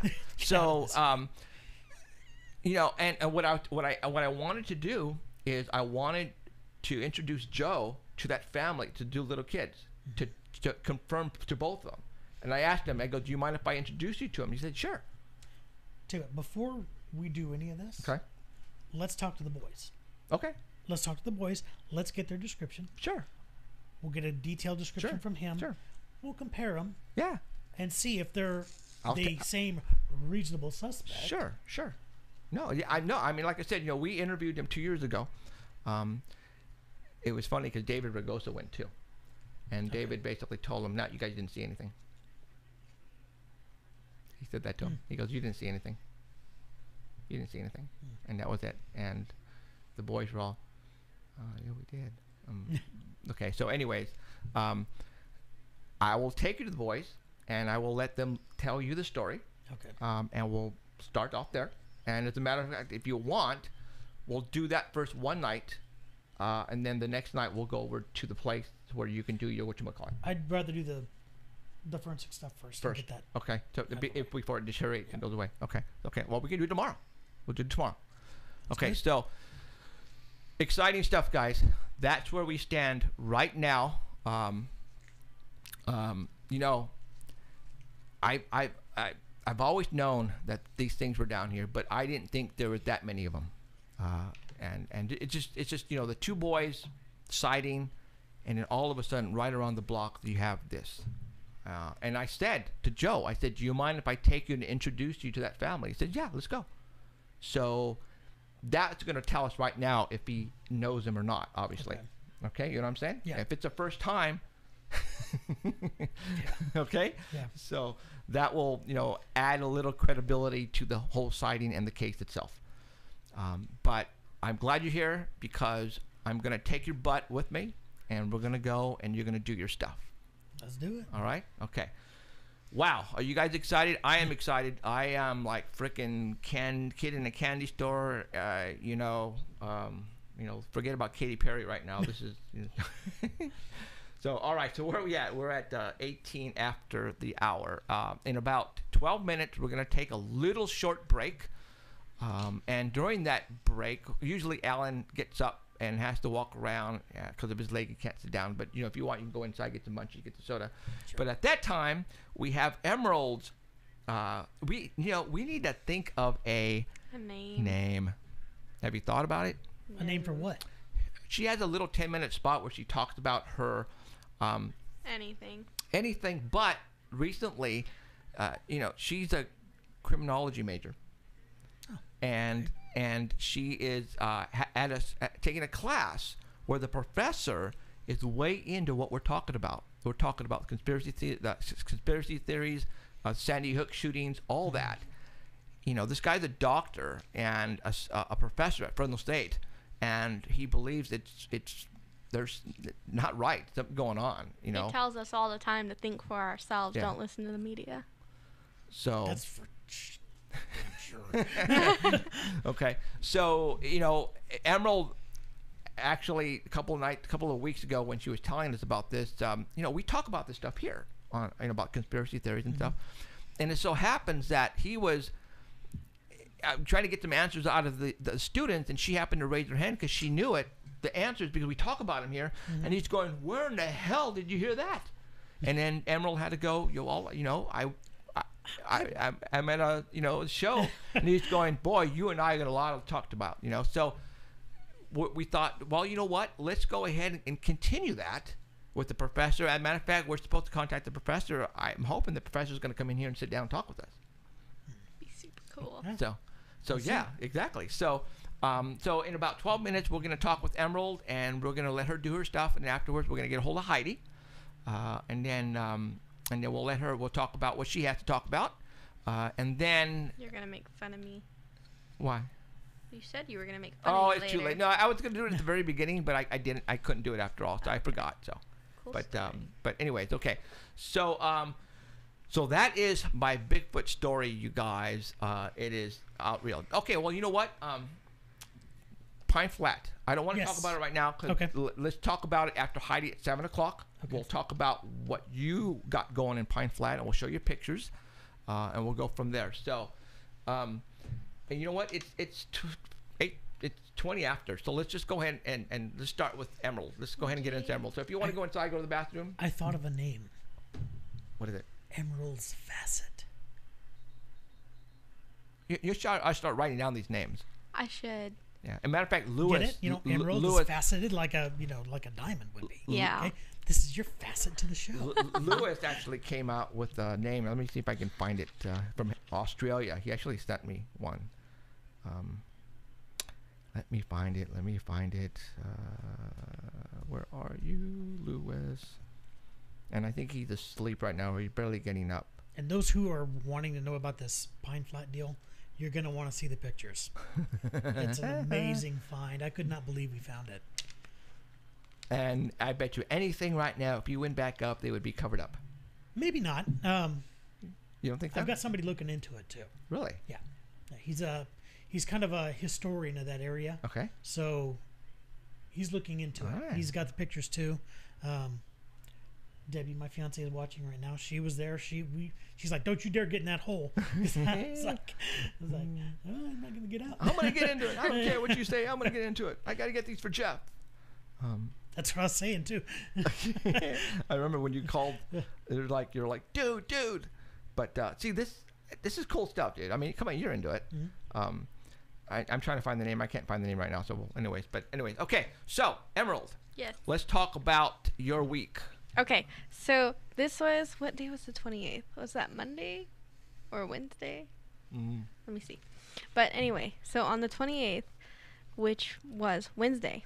I wonder if we had anything good on Monday. No, we were off that day. Um, sorry. So, like I said, every time we take notes in class, I'll write PC next to something interesting. That way I remember for Paranormal Central. So, Oh, okay. I thought you were thinking like PC, like penal code section. No, Oh. no. Okay. That's a different Okay. class. That's a Okay. different class. Gotcha. Um, so he brings the Wall Street Journal in, and this was on the 28th. He read it the 27th, and he goes, "So what do you guys think of this?" And he puts the newspaper on the overhead, and it says, "DEA using license plate data." Data. So basically, the DEA, which I mean, it's been in the DMV, they're using our license plate da- plate data. I can't talk right now. Um, basically, like keeping track of everybody, everybody who owns a vehicle. So I mean, I thought that was kind of interesting because they've been doing it for years. It's like that whole Stingray thing where the towers that look like cell phone towers, but they're actually tracking your data. That happened a while back. Um, this is more specific on the license plates, and this was, like I said, this was just released on the 27th, and they've been doing this for years. And he mentioned like, you know, if they've been doing this for this long and it barely leaked out, he's like, what else do you think they're doing? Now, what do you mean, the license plate data? Um, but how are they tracking us? Uh, What, what do you mean? They're putting our license plates basically because these research methods Mhm. in spreadsheets, and they're using that data. They're saying they're using it for criminal activity, like any drug traffickers. They're going to have those license plates open and stuff like that, stolen cars, stuff like that. Mm-hmm. But in order to get those, you have to kind of get everybody else's. See what I'm saying? Okay. I don't know if you've read do, that but, you know, article. If they want to know that I'm going to the store or whatever, I, I'm okay with that. yeah. You know that. Um. Well, it's just kind Well, of an, more intrusive. I mean, and as we progress, it's getting more Yeah. and more intrusive. Like what they, I mean, if they wanted to look at my phone through my camera right now, they probably could. Yeah, they could. They Yeah. can't. They can't. Well, not yours. Yeah, you have sure, tape yeah. over it.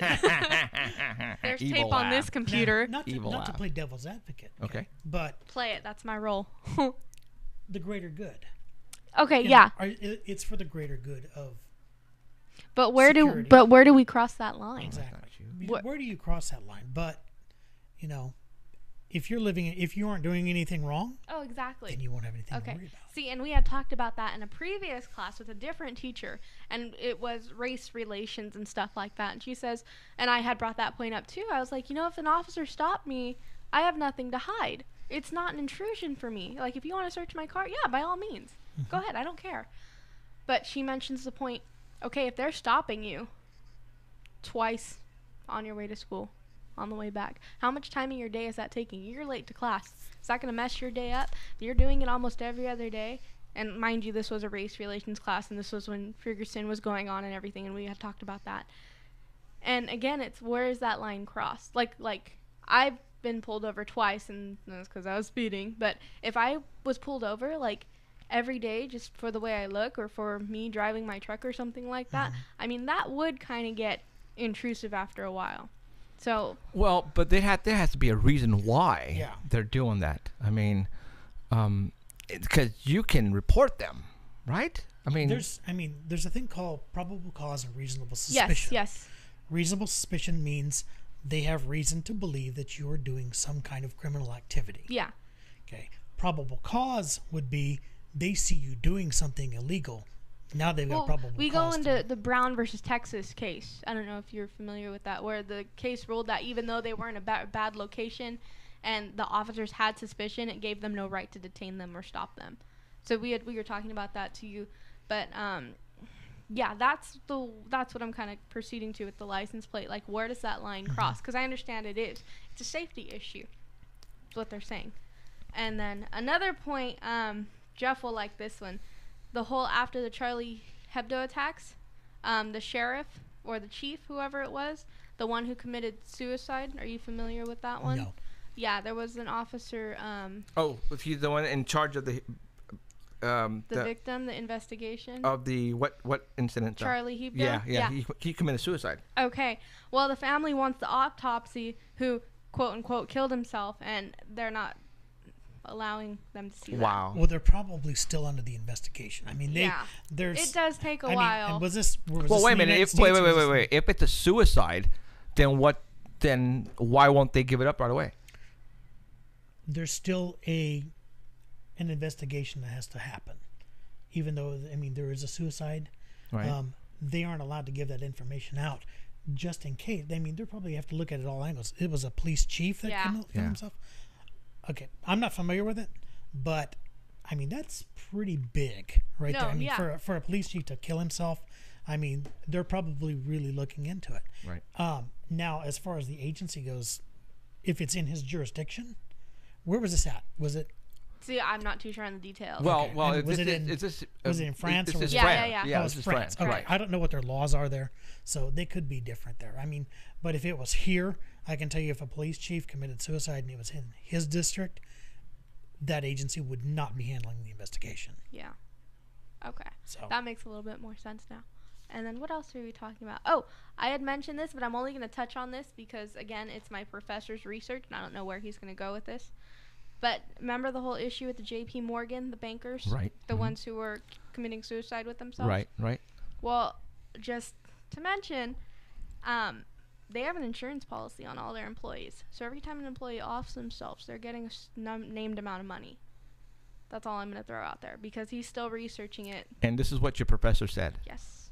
Yes. So he So- he's sort of hinted that they weren't suicides and he has a theory with his data and everything which I kind of want to get to know more, and he's going to talk about that more with us tomorrow. Okay. So I want to try to work with him on that. So I thought that was really cool. And also, he says um, it's impossible to fully discover cause, like cause and causation, uh, crime causation. And then he goes, science can always be incorrect. And he just says, remember that. Because regardless, if it's incorrect, you have to do more research. And then that research could be incorrect. So there's this never ending thing. So it's not always 100%. Mickey.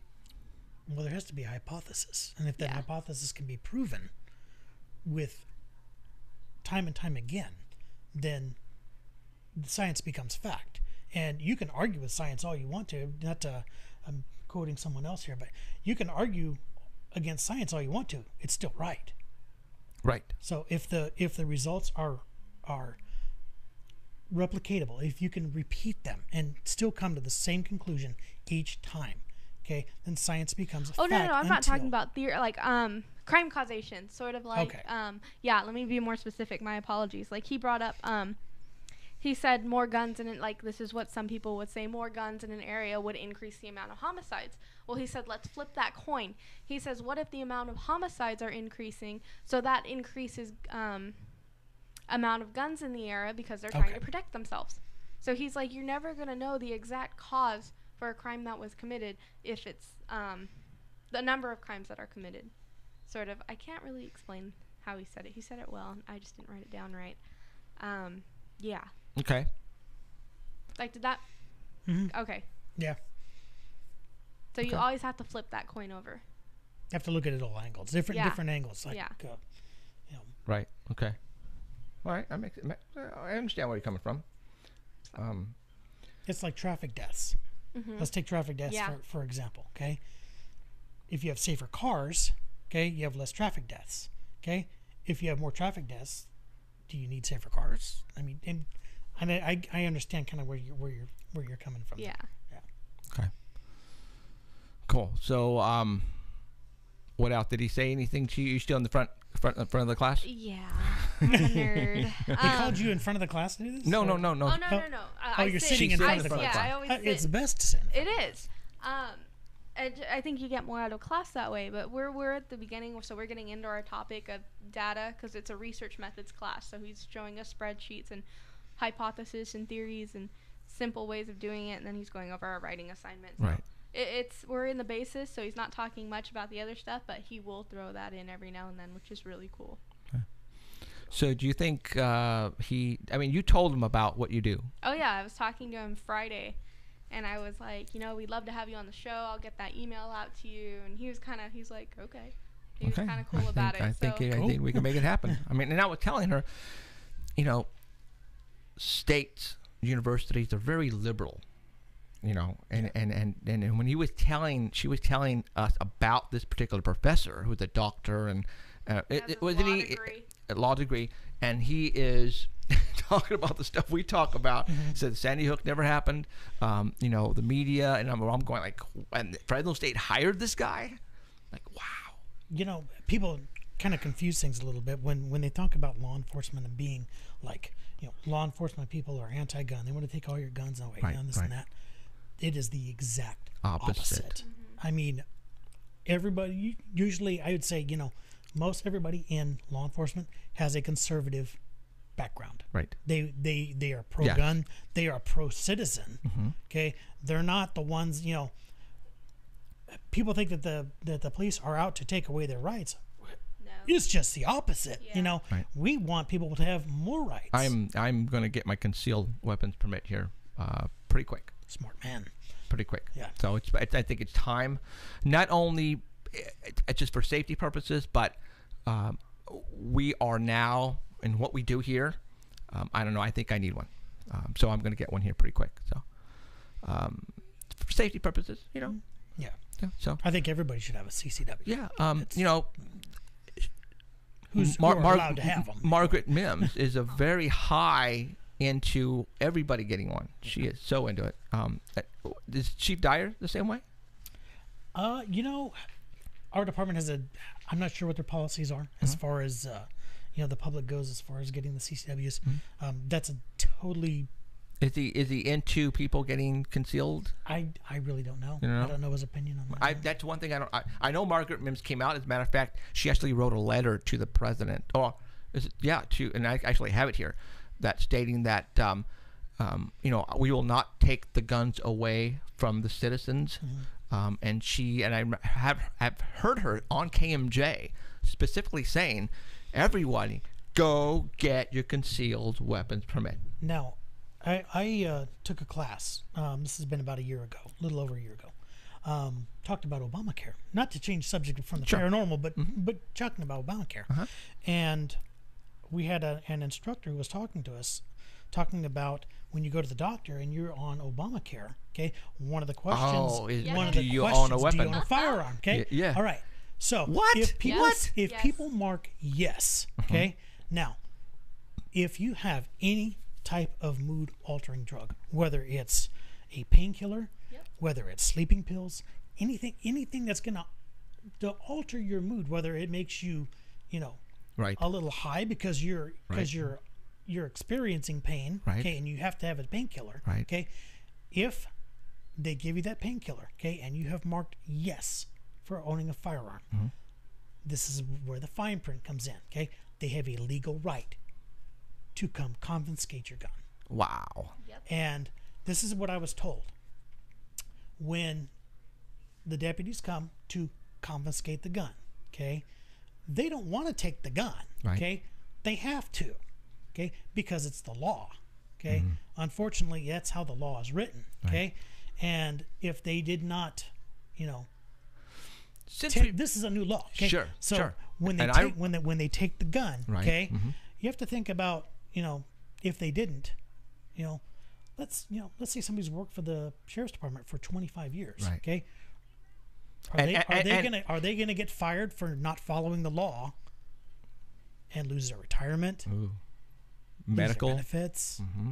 everything? Now, it's not only one gun, it's going to be everything they own. Now, see, this is this is where the whole conceal thing people say, why do I want to let my government know that I have a weapon? You know, you know what I'm saying? Yeah. Okay. Because once I get a concealed weapon permit, it's in the database Well- that I have a gun. When you buy a gun, Mm-hmm. it's in the database anyway. Yeah. Right. So Okay, true. True. And that goes for long guns or short guns. Okay. Well, I mean, excuse I me, mean, yeah. handguns. I- Okay. So that, yeah, that makes sense. So I guess I'm gonna have to go get an illegal gun. Oh, I, mean, I didn't say that. Saturday night special. So, so, um, yeah, that makes, yeah, I, yeah, I mean, cause you know, when I started investigating Bigfoots, you know, you own was it 44 or 38? I've got a couple. You got everything. you got everything. got all the fun so stuff. when Yeah. when we go up to the mountains, you know, Mickey T takes his, his guns, man. I mean, come on. We're in territory that don't belong to us. It belongs to the animals. And not only just to the animals, but you have to think about the bigger picture too. There are drug runners up there Yes, who they have are. illegal marijuana grows, Yes, they are. who have illegal methamphetamine labs up there. We have to think about that too, not just Just the animals. being attacked by a bear or Bigfoot. Right, right. So I went out and I bought a 30 out six, you know, specifically for this, you know. Um, so uh, you know, I have a shotgun and my wife has a weapon. So yeah. So anyways, um, I just want to carry one with me though wherever I go. That's all. It's a good idea. So, so don't mess with me.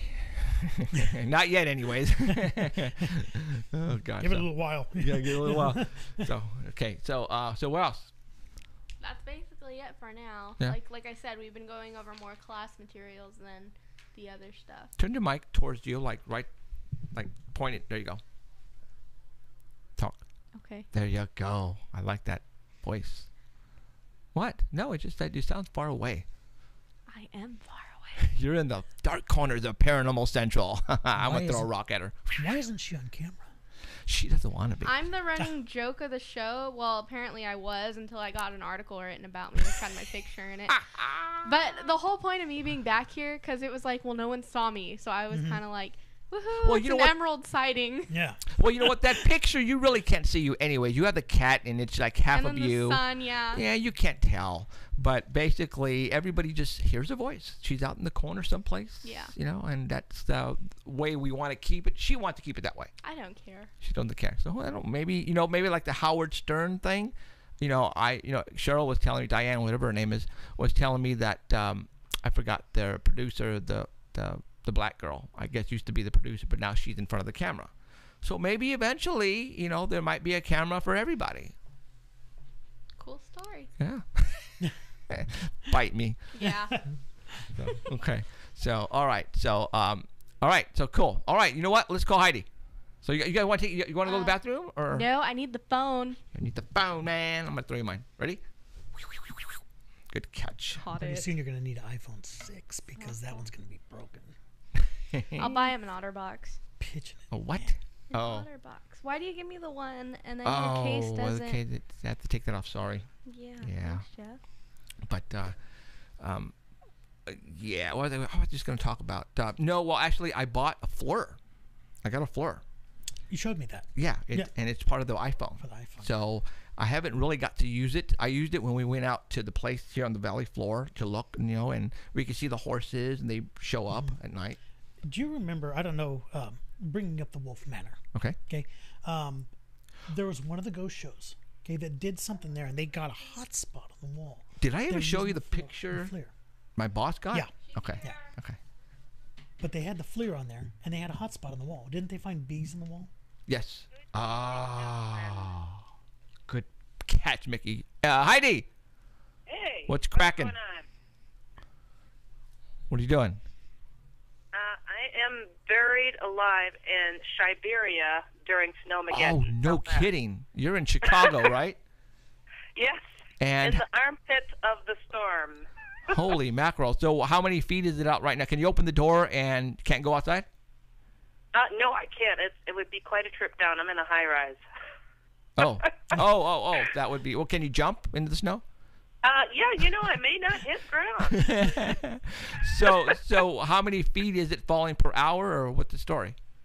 no, you know, I'd say maybe there's about 12 inches out there right now. So it's it's they're talking about snow drifts being three to five feet though. So it's a bit wicked. Wow.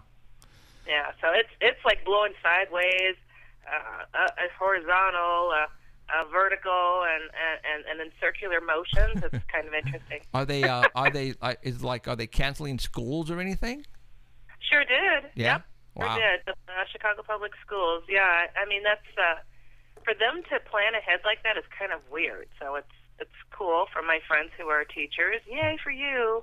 Kids think it's a day off for them. It's like no, teachers really need a break from you.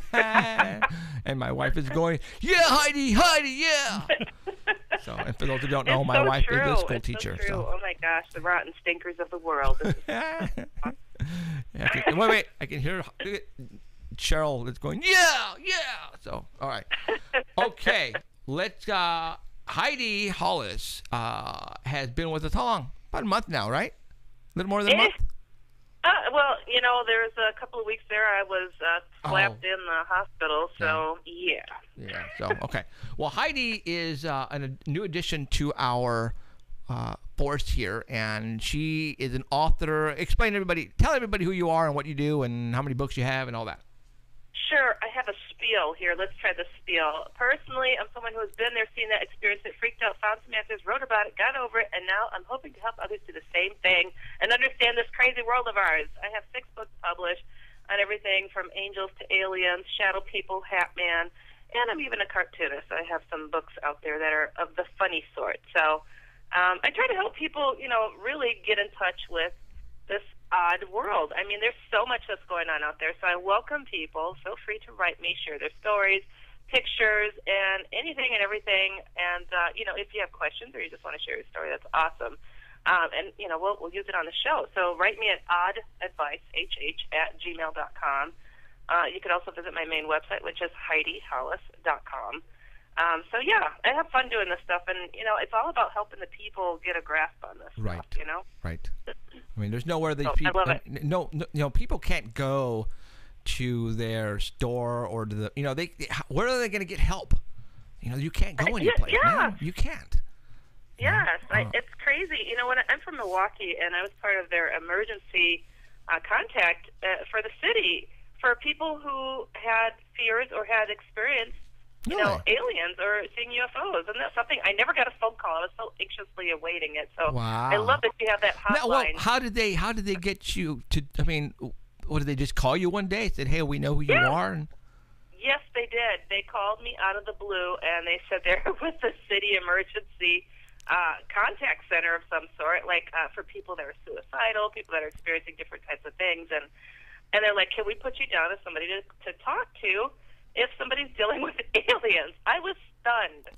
I'm like, Wow. uh, "Sure, okay." that, I mean, isn't, isn't that like um, That's like an acknowledgement. what's that? an acknowledgement? of well, well, not necessarily because they.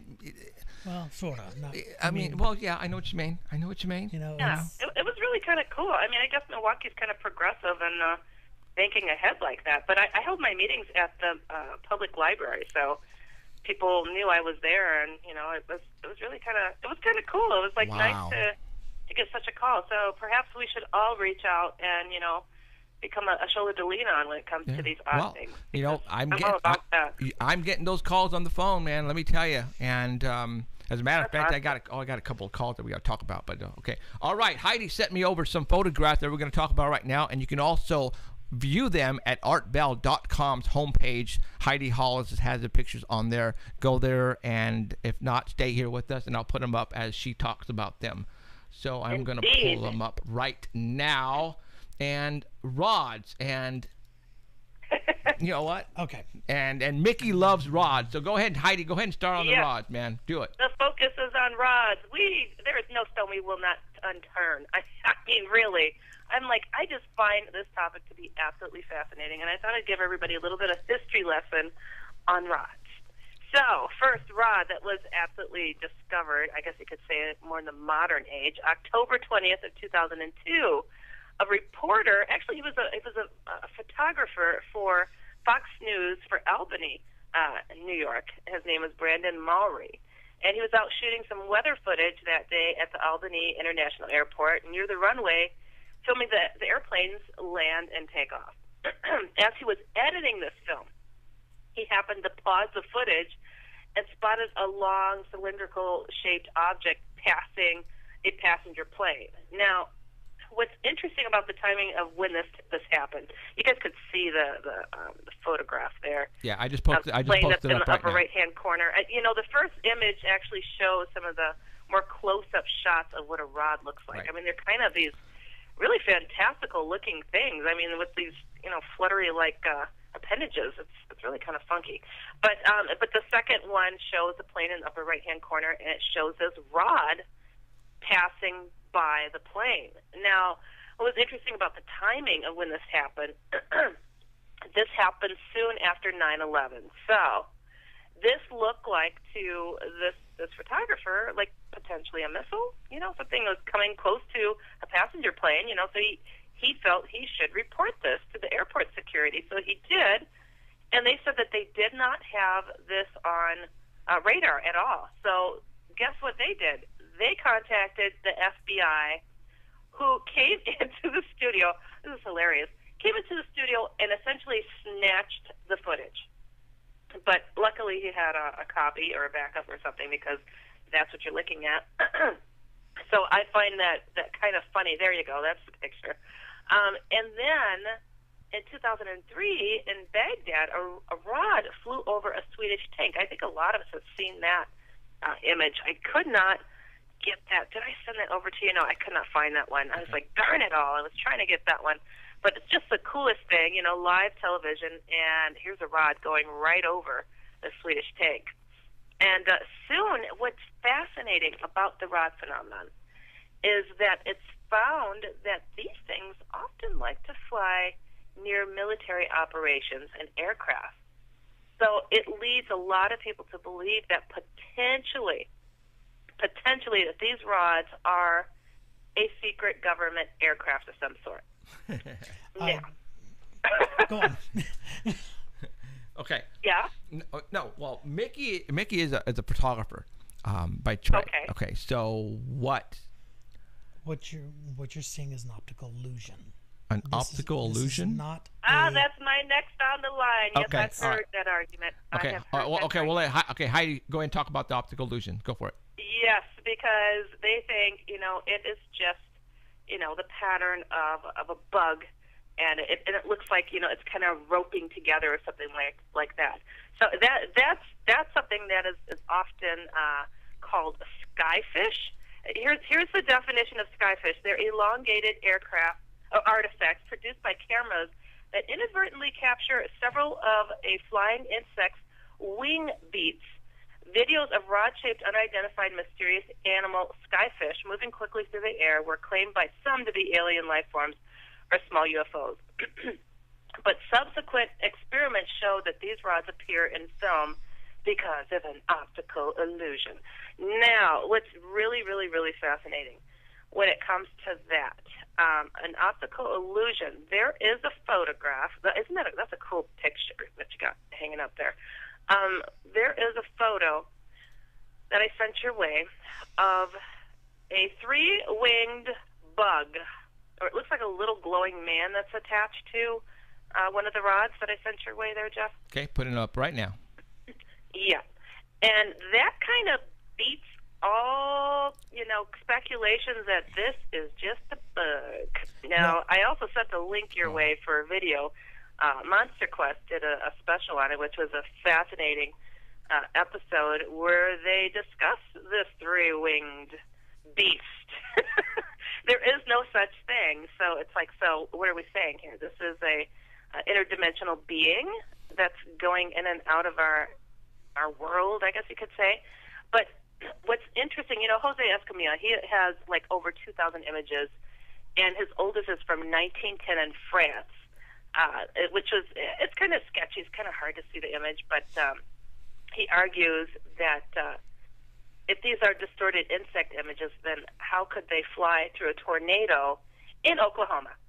The fastest moving tornado in history. Uh, the, I believe, oh gosh, I don't have the year here. Darn it all! But there was a, there was a, the world's fastest known to mankind tornado in Oklahoma, and boom, there goes a rod flying through the middle of it. So let let's hear the explanation for that one. It's Okay. like it's a bug. Okay. How could that happen? Okay. Mick, Mi- Mickey has um, some some theories on this. Go for it. This, okay, let's hear it. I want to hear it. this, Im- this image that you're looking at here. Right. This is where the- they jumping into a cave, I think. Yeah, or, they're or looking a hole. yeah, exactly. That's what I was gonna say. Where Right. this little man's. I remember this. There. They they're uh, BASE jumpers. BASE jumpers. They they jump into this hole. I think it's like in Central America or Right. something like that. And they're filming it, and you see this rod kind of go in between them. Right. And now, the be- here's the best way to explain this. Okay, um, as humans, okay, we have in our eyes what's called rods and cones. Okay, they capture light, different different stages of light and different stages of color. Okay, now when we see things, okay, we it's called a persistence of vision. Okay, when we see things as they go through, they appear fluid. So we see them as they actually are. With the, your you're actually your brain pauses for a minute and sees it as a fluid motion. Okay, cameras don't see that. Cameras don't have persistence of vision. Cameras move a lot faster than than like our eyes would and our brains would, and they capture things. You're seeing essentially an overlapped still image of an object that's flying through the air that's faster than the shutter is traveling. That's why you're seeing this rod appear because it is actually it's an insect. And because of the the shutter tripping in the in the camera, mm-hmm. that's unlike our eye, which you know, our, like I said, our eye it's at the persistence of vision. This actually s- stops it and then captures it again as it travels, But- and it appears to be elongated and s- So, but okay, um, all the rods that I have seen, I'm going to put that other picture back up with a four on it. Um, so you're saying then it could be a mosquito or a fly or a moth. Yes. Um, probably not a mosquito because they're too small. Okay, so, I a mean, a, so one with wings, like a moth, a butterfly, uh, a gnat of Mm-hmm. some type. You know, you had the picture up earlier with the uh, the rod flying next to the plane. Right. It's not next to the plane. It's just closer. Oh, to it's the closer, lens. closer to the land. Yeah. Right. So it looks, it appears bigger, and I'm not the videographer. I don't know what he was, what kind of camera he was using. I don't know what the settings were he was using. Mm-hmm. But when you have a uh, smaller aperture, okay, it'll, it's going to appear closer to the plane because I don't know if he's, if they said, you know, yeah, this thing flew right next to the plane. There's no way. No, I see what you're saying. Um, just all of the rods that I've seen, they all look the same, though. I mean, Yeah, they do. Well- they, they have a similar appeal to them. And, and Flying insects all have wings. Fact that, that these things are said to travel between 135 and 200 miles per hour and are one to six feet long. Um, I, there's an image that I sent your way there, Jeff, of the kid that's sitting there, and it looks like his ear has become pierced by a rod. Do you see that one there? I just put it up right now. And, and like you know, there's a delay, so it, it's up right now. Got We're it. looking at it, so once Yeah, it yeah. cha- changes on your screen. But uh, okay, so so what you're telling me, Mickey, then is, is is that if I cover up the the top portion and, and one set of wings, and that's just the bug itself. One That's bug. the bug, yeah.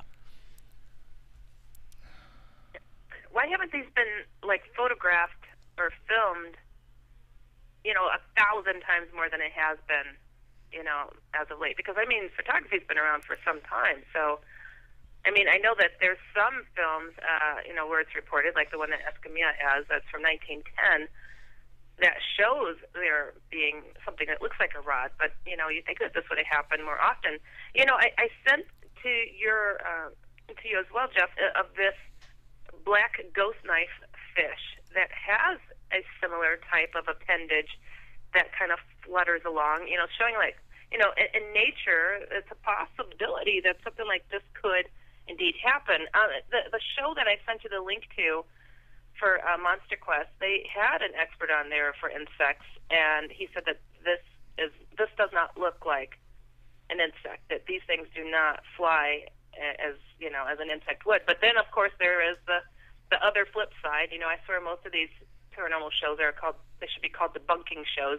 Um, they Right. just you know rip them apart and oh that didn't happen. Um, but uh, Okay, I well, it's- so so so so so Heidi, so check it out. So if if we were to be in uh, in a room and we threw, let's say, for example, Mickey, a fly in the room, right, and you started taking pictures of this fly all over the place, just pictures, pictures, would, would it turn out like this? I don't know if it would turn out like that. Well, not But- like I'm sorry, not like the but fish I'm showing no, like now, but fish. a rod. I don't. I don't know because I mean, Don't we'd have to do some. We'd have to do some experimenting. I mean, I mean, flies. I don't know. Probably more like a dragonfly or a moth. Probably because you have a bigger object to see there. Um, Doesn't that all have to do? Yeah, you'd have to do experimentation. Yeah. You'd have to look at the light, the aperture, the shutter speed. You'd have to see all that and see how that works. You know, there was a piece of footage that I've I've given to the attention of uh, Jose Escamilla. Um, I did a television series for Discovery Channel called X Ops. It never hit the screen. It's kind of a mystery as to why this happened. We got a lot of cool fo- footage. We went down to Roswell uh, because of reports of there being uh, alien ghosts being seen. Right. So we went to the airplane hangar uh, where the bodies are supposedly stored at one point. And I mean, we were in this hangar and it was probably 10 degrees. It was freezing. We were shuddering. And uh, as they're, they're filming, you know, there- was a couple of psychics with us. They began to do a seance. And I mean, just the craziest things took place. Something was growling things were banging. We didn't know what was going on, and uh, and all of a sudden, one of our photographers passed out, essentially. And uh, later on, we go to look at the footage, and there is this like centipede-looking like creature that that looked to crawl through the screen. And I mean, it was just the weirdest looking thing. And it was soon after that that our photographer passed out. So I don't think a bug could have been around in that, those freezing temperatures. So that's why I'm I'm, I'm very much uh on the on the boat of uh, a believer of some of these things not always being explained because, wow, did we get something crazy? And I'm hoping that Jose gets a hold of this footage that uh, uh, the producer that was for the show actually was the producer for X Files. So um, we're hoping that he gets uh, and, and analyzes that footage because, So that's a bunch of bugs. my goodness. Bunch of bugs. Okay, so now I got the next photograph up right now that has Oh, there you go. all of them on there. So you're Yeah, saying that's- then that's an assortment of gnats or bugs then? Some kind of flying. But they all look the same to me. Why is that? because they're probably all the All the same type of bug. type of bug. Yeah. And if you count them all, look at the. If you look at the rods, okay, they're all traveling from right to left. Okay, what's that big light center in the middle? What the hell? What, how do you distinguish that? Okay, they're all flat. They're all. I mean, they're all. Looks like they're all traveling the same direction. Okay, but look at that in the very center. that one. That one. Yes. Well, it looks like it's coming this way towards Yeah. us. So it doesn't appear as a rod. I don't know. Uh, If, if, if you, you know, and then if- there's something called ghost rods as well. You know that don't have these kind of looking like fluttery like appendages on the side. So the ghost rods are, are really fascinating to me. I think I've they're never more seen like one orbs taken off. You know. I've never seen a. Oh, I'm just, I'm just looking at the TV right now, and New England just stole it. Just uh, Oh not, not no! stole Don't it. say that. New England just uh, intercepted Intercepted. the Seattle and the one yard line. No, I'm all for Russell Wilson because he played for the Wisconsin Badgers. Oh my gosh! I'm a Packers fan. Can't help myself. But, Holy uh, smokes! So okay. well, suck it Yeah, up. As for- far as far as the rods go, I, I guess to Mickey at this point in time, you would have to prove to me, get a bug, go and start taking a, mi- a million pictures and see if you can make it look like a rod. There was actually something done on that. I remember, oh, this was years ago because I remember I was little. But I remember they actually did it. They had a high speed camera Uh-huh. and they were looking in this area that they were had that was populated by these bugs and they were taking pictures just one after the other, one hmm. after the other. And they had light and everything. They tried doing different experimentations and they came back with all these similar shapes, which would be those rods. Mm-hmm. So I mean, I've taken a camera course too in high school, and I mean, I'm not saying that's like makes me a specialist or anything because it doesn't. But we had actually talked about this. So I mean, uh, for me, for hmm. me, rods have never been something like that I would deem paranormal. Yeah, unless like just, something it's just was very weird. yeah, Weird no, looking. It, it, It's it's strange. cool. I mean, you could do so much with cameras.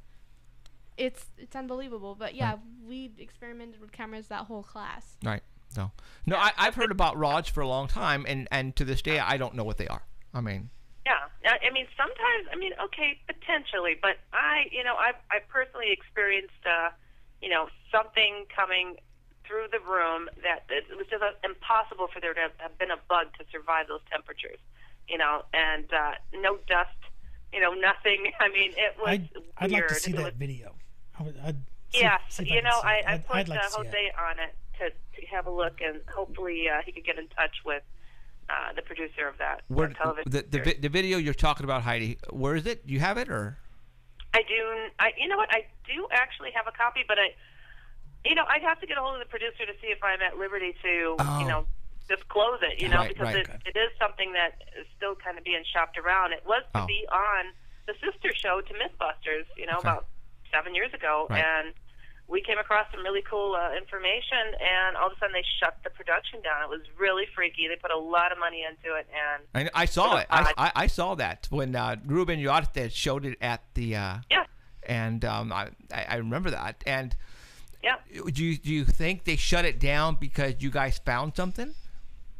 I am really suspicious of that because suddenly, you know, you know, there's just a, a lot of rumors that I don't personally have, you know, a, direct uh, um, interactions with these people to know that this is what was said and this is what was ha- what happened. So I don't want to throw stuff out there, you know, without knowing for certain. But Right. a lot of different speculations have been put out there as to why they shut this down. I mean, we're talking about private jets. We had, uh, you know, uh, we had gear. We have a $500 watch that was given to us that had the emblem of the show. I mean, just crazy stuff promoting the show. And yank, didn't get back to this X Files uh, producer. You know, Discovery shut him down. Like, boom, we don't know you. What was that? It, not a phone call return. It was odd. It was really odd. There's a So fight. like- There's a massive fight going on right now in the Super Bowl, guys. Massive fight. Oh, Look at this. man. Look at this. Oh Woo! Be some Well, I don't know if you have that. time for one of these. Yes, these, absolutely. not, Absolutely. Go go for it. Go for it. All right. Uh, Do you want a big one or a little one? Oh, it doesn't matter. Whatever you got. Okay, all right. So, okay, this one I've been holding on to for a bit because it's kind of a big, juicy one. Okay, this is Dear Heidi. So I decided to tune into a paranormal podcast this evening between you and Howard Hughes. Whilst, oh, whilst, this is from across the pond, while stitching. And the discussion came up about shadow people. Of course, I've heard of them before, and I've heard of descriptions and their varied appearances. One described them as wearing hats, kind of a fedora style. This got my attention because it reminded me of an extremely scary incident I had as a child in bed at night. As a kid, I thought there was a bad man, ghost thing in my bedroom. It freaked me out. Was always kind of half hidden by the curtains, and I used to try to pretend it wasn't there by keeping my eyes shut. I can't remember how long or how often it would be there, just distinct memories of it happening pretty regularly. I didn't talk about it to anyone because I was too afraid and didn't want my siblings to laugh at me. Oh, don't we know how, how, how that feels? it was always wearing a hat, a fedora style hat. Although at times I just thought it was an odd hat because as a kid I had no idea of names of hats. I could still see the image in my head. He was always wearing a black kind of cloak as well, although it was not a billowing kind of cloak. I could never make out the features of its face, and it was always in shadow, and I do not recall seeing red eyes at all. But one particular night, I was convinced I saw movement at the end of my bed, like this thing was crawling around the side of my bed up towards me. Okay, I got chills. uh, I was absolutely terrified, screamed bloody murder, and hid under the covers and wouldn't stop screaming or come out from under until the lights were on and my dad was there. I was so scared I didn't care at that point what anyone thought of me or being ridiculed. I was so convinced something was crawling up towards me. Dad had to hunt the whole bedroom for me. I was sobbing by this time, and he and uh, leave the bedroom door propped wide open with a heavy stone. it's funny. Okay, this image has been a regular feature of dreams my whole life since then. It is always outside the home I am in, in the dream, but trying to get in, it moves around to all the windows to try and get a glimpse at me. I am urgently but easily moving around, making sure the windows and doors are locked, and even the net curtains are covering the windows. So I can't see exactly where I am in the house. In the dream, I must make sure that it doesn't know I'm in the house. I think a couple of times it did, but I woke up at that point. I don't seem to get these dreams as often now. Oh, please don't let me have them now. So, anyways, back to the evening, to, to this evening. Out of curiosity, I decided to Google images of shadow figures and was startled when I found the two images that I've attached here. The black and white image really, really freaks me out. That kind of sends chills down my spine because they look like the images I believe I saw as a kid. Uh, for anybody who wants to see the images, they're actually on my website, um, HeidiHollis.com. Just click the Hatman uh, tab there. Uh, I believe as uh, as a kid, because these were the same images. That's what they sent me were my own drawings. So I figured, why why do anything with them? but so like they're on my website. Um, I saw as a kid in the images that still, though not as often, present themselves in my dreams. The other thing I wanted to mention was an incident from 18 to 20 years ago. My two little kids were tucked in bed, and I was preparing a curry for my husband and I. Hubby was downstairs listening to music, and my back was to the stairs. I had this incredibly strong feeling that someone was behind me, and I assumed that my husband had crept up the stairs to pull a prank on me and jump. I was in no way thinking of spooky things, just mus- mundane things, chopping onions and listening to the background music from downstairs. I remember turning around with the chopping knife still in my hand, mouth open to say something to my husband like, Ha, I gotcha. You thought you were going to make a jump on me. At the same moment I did that, I distinctly remember seeing a shadow outline of a man. Arms were hanging down by its sides, and the shoulders were pretty broad. It was directly facing me and just standing there at the top of the stairs, about six feet away from me. I remember it being full size and close, and the fact that it was looking right at me, even though I could not make out any facial features.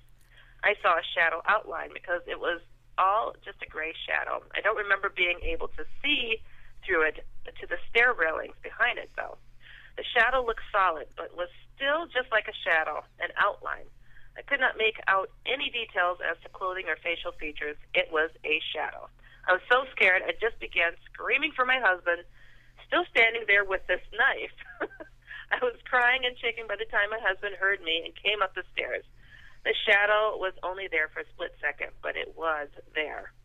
What I am not sure of was if it was my imagination that produced an image because I was so sure my husband was sneaking up on me. Or was it truly an entity that my sixth sense had picked up on? And I don't think I have a strong sixth sense, which caused me to turn around at the moment and see the shadow. I have had occasional paranormal things happen to me, and my family has also experienced odd things. Some which could be explained away, but others which we accept as being unexplainable. My husband does have a strong psychic sense, but has buried it due to a very negative experience he has had with a teenage as a teenager with his friends with a Ouija board.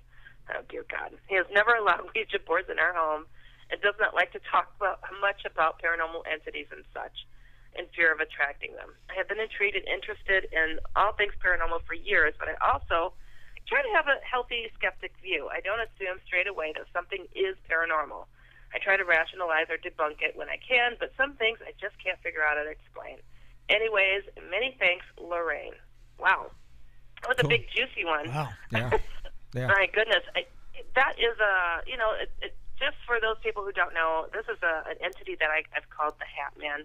Um, I do have a book on this topic of the Hat Man, and he is something that I had mistakenly called and distinguished as being a shadow person at one point. I called him the Shadow Hat Man. And um, so this this guy, you know, it's just so funny, Jeff. This this guy is such a pain in people's backside. If he can't get at you physically, he'll come at you in your dreams. I mean, what a what a numbskull. I mean, really, he's just he's such a I don't even know how to say to people. It's like you're trying to get along with in your life. You think you've gotten rid of this creepy thing crawling up your bed, and, and he does the creepy crawly like you know head twisting thing like uh the what is Ex- it? Uh, Exorcist? what was that Stephen King like it? Oh. What was it? Uh, was it called the thing, or was it it that clown? The way he Oh. was like a spider, like It. the way he It. crawled It. along. It. Yeah, it was it. It was it. Yeah, and this hat man likes to distort himself like that and just really terrorize kids and and adults. But Right. man, it, it's such a, a typical thing that uh, people report. Once they get rid of him out of their house, he will come in their nightmares for years. Hmm. For years, it's just creepy. It's horrible. But uh, you know, I commend this person for sharing their story in regard to this. Um, I'm kind of losing my voice once again. I'm still trying to kick this freaking bug, Jeff. It's so ridiculous. But um, uh, um, um, Mickey, Mickey, you had something to say? Yeah, I, I was just asking if we were on a time limit because No. I've, I've actually got a couple of stories I could tell you Yeah. about shadow people, and I had my own experience with a Ouija board that will Oh, wow. blow your Oh. socks off. Ow. Yeah. You know what? Before you, before you, um, we'll let Heidi go when you talk about that. But Heidi, Yeah, since, yeah. since we got you on, um, have you ever heard of what are they called? Night terrors. Um, oh yeah, okay. oh yeah. Okay. I've, I've heard I've heard that, and I Um, mean, having you know named the shadow people phenomenon and named the Hat Man phenomenon, I Uh-huh. have been thrown that forever. You know, night terrors, sleep paralysis. Yeah, you know, well, let's talk about that only because, you know, my son, Christian, has had them when he has had high fevers. Okay. Uh-huh. Um, but recently he had a high fever and he didn't have the fever anymore, but he still had the night terrors um, a couple days afterwards. And for all those don't who don't know what what we're talking about, uh, if, if you've had young kids, I, I've heard actually adults have these things too, but they'll all of a sudden wake up and they'll actually be awake or their eyes will be open and they're screaming bloody murder like if they're looking at something and they're crying and they're shaking just uncontrollably and you can't really um, you know, it, it scares you. It's scary. It's scary. Um, my son has had these at a young, younger age. Even today, he's you know he's a fourth grader and he still has them. But what the problem is though is I don't remember ever getting these when I was a kid. Because what happened is is he was at my parents' house this past week when he got a fever and he had a night terror in front of my parents. It scared them to death because they had no idea what that was. Me growing up, my two sisters growing up, we never had these when we were kids. I had high fevers, but Right. I would hallucinate, but I wouldn't go into spasm mode like my son does. Hmm. And it's it's new to me, and I'm going, well, wait a minute. Why are these happening now? Did they happen back then as well? Because I've never heard of them. Emerald, I know you want to say something. Um, I think he could see. I think he has what I have, but See, it's only prevalent with his fever because you lose control. When I get really sick, Uh-huh. I lose control. I have no control over what I'm able to see or what I could stop from seeing. Okay. N- now check it out. He she mentioned to another teacher at, at her school that he was experiencing night terrors. Now he sees my my my son sees things crawling up the walls and demons. Now what's weird is that my wife was talking about this to another teacher and she goes, "You know, my son does exactly the same thing, but he'll get out of bed with his eyes open and he'll be screaming like he's trying to kill these things in his room. And his eyes are wide open and but not all the kids have these night terrors. People Google them. Uh, and it, this is very bizarre to me because, like I said, I never had them when I was a kid. I don't recall talking to anybody ever who had experienced this when they were kids.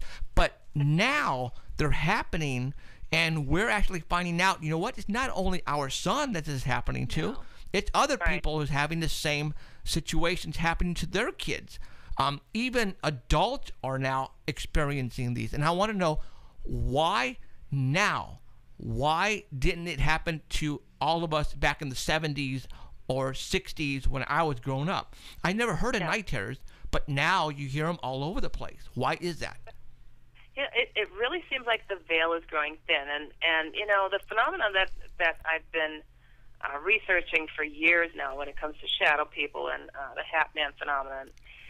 These sightings eh, have have shifted. Okay, it, it's gone from okay. My interest started off in ghosts, Right. and then it went to the alien topic, and then it went to when I named the shadow people. I've been slammed for years ever since, and then the Hat Man.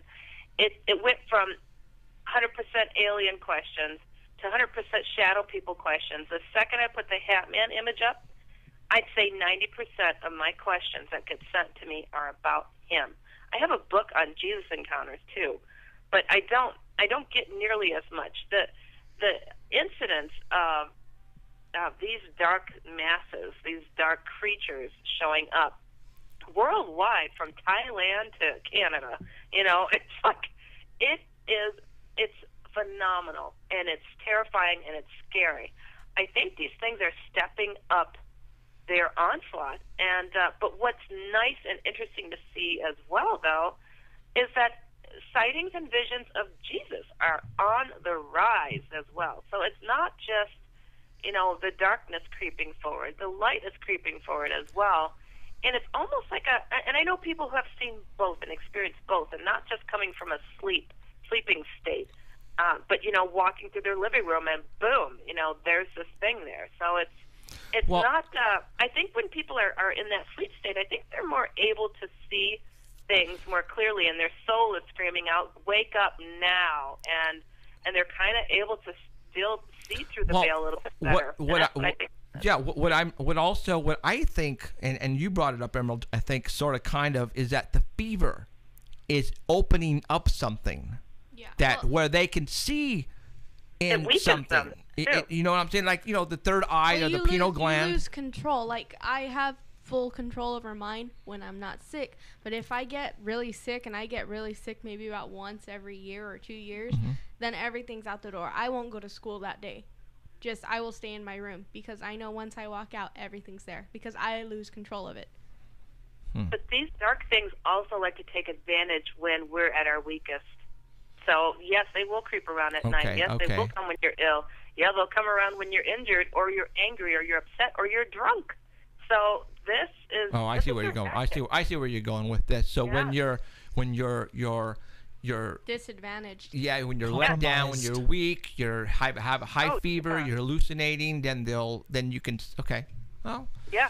but Yeah. yeah, but but like I said though, I don't recall night terrors. They even have a name for these night terrors. You know, you Google it; they're there, night terrors. Right. And and you know, when you go to the doctor and you take them because if this happened to your child for the very first time, it is scary. It scared the crap out of me when when Christian first this happened to him many years ago, and I freaking freaked because I saw my son, and and I couldn't do anything. I could not do a single thing to to to to comfort him.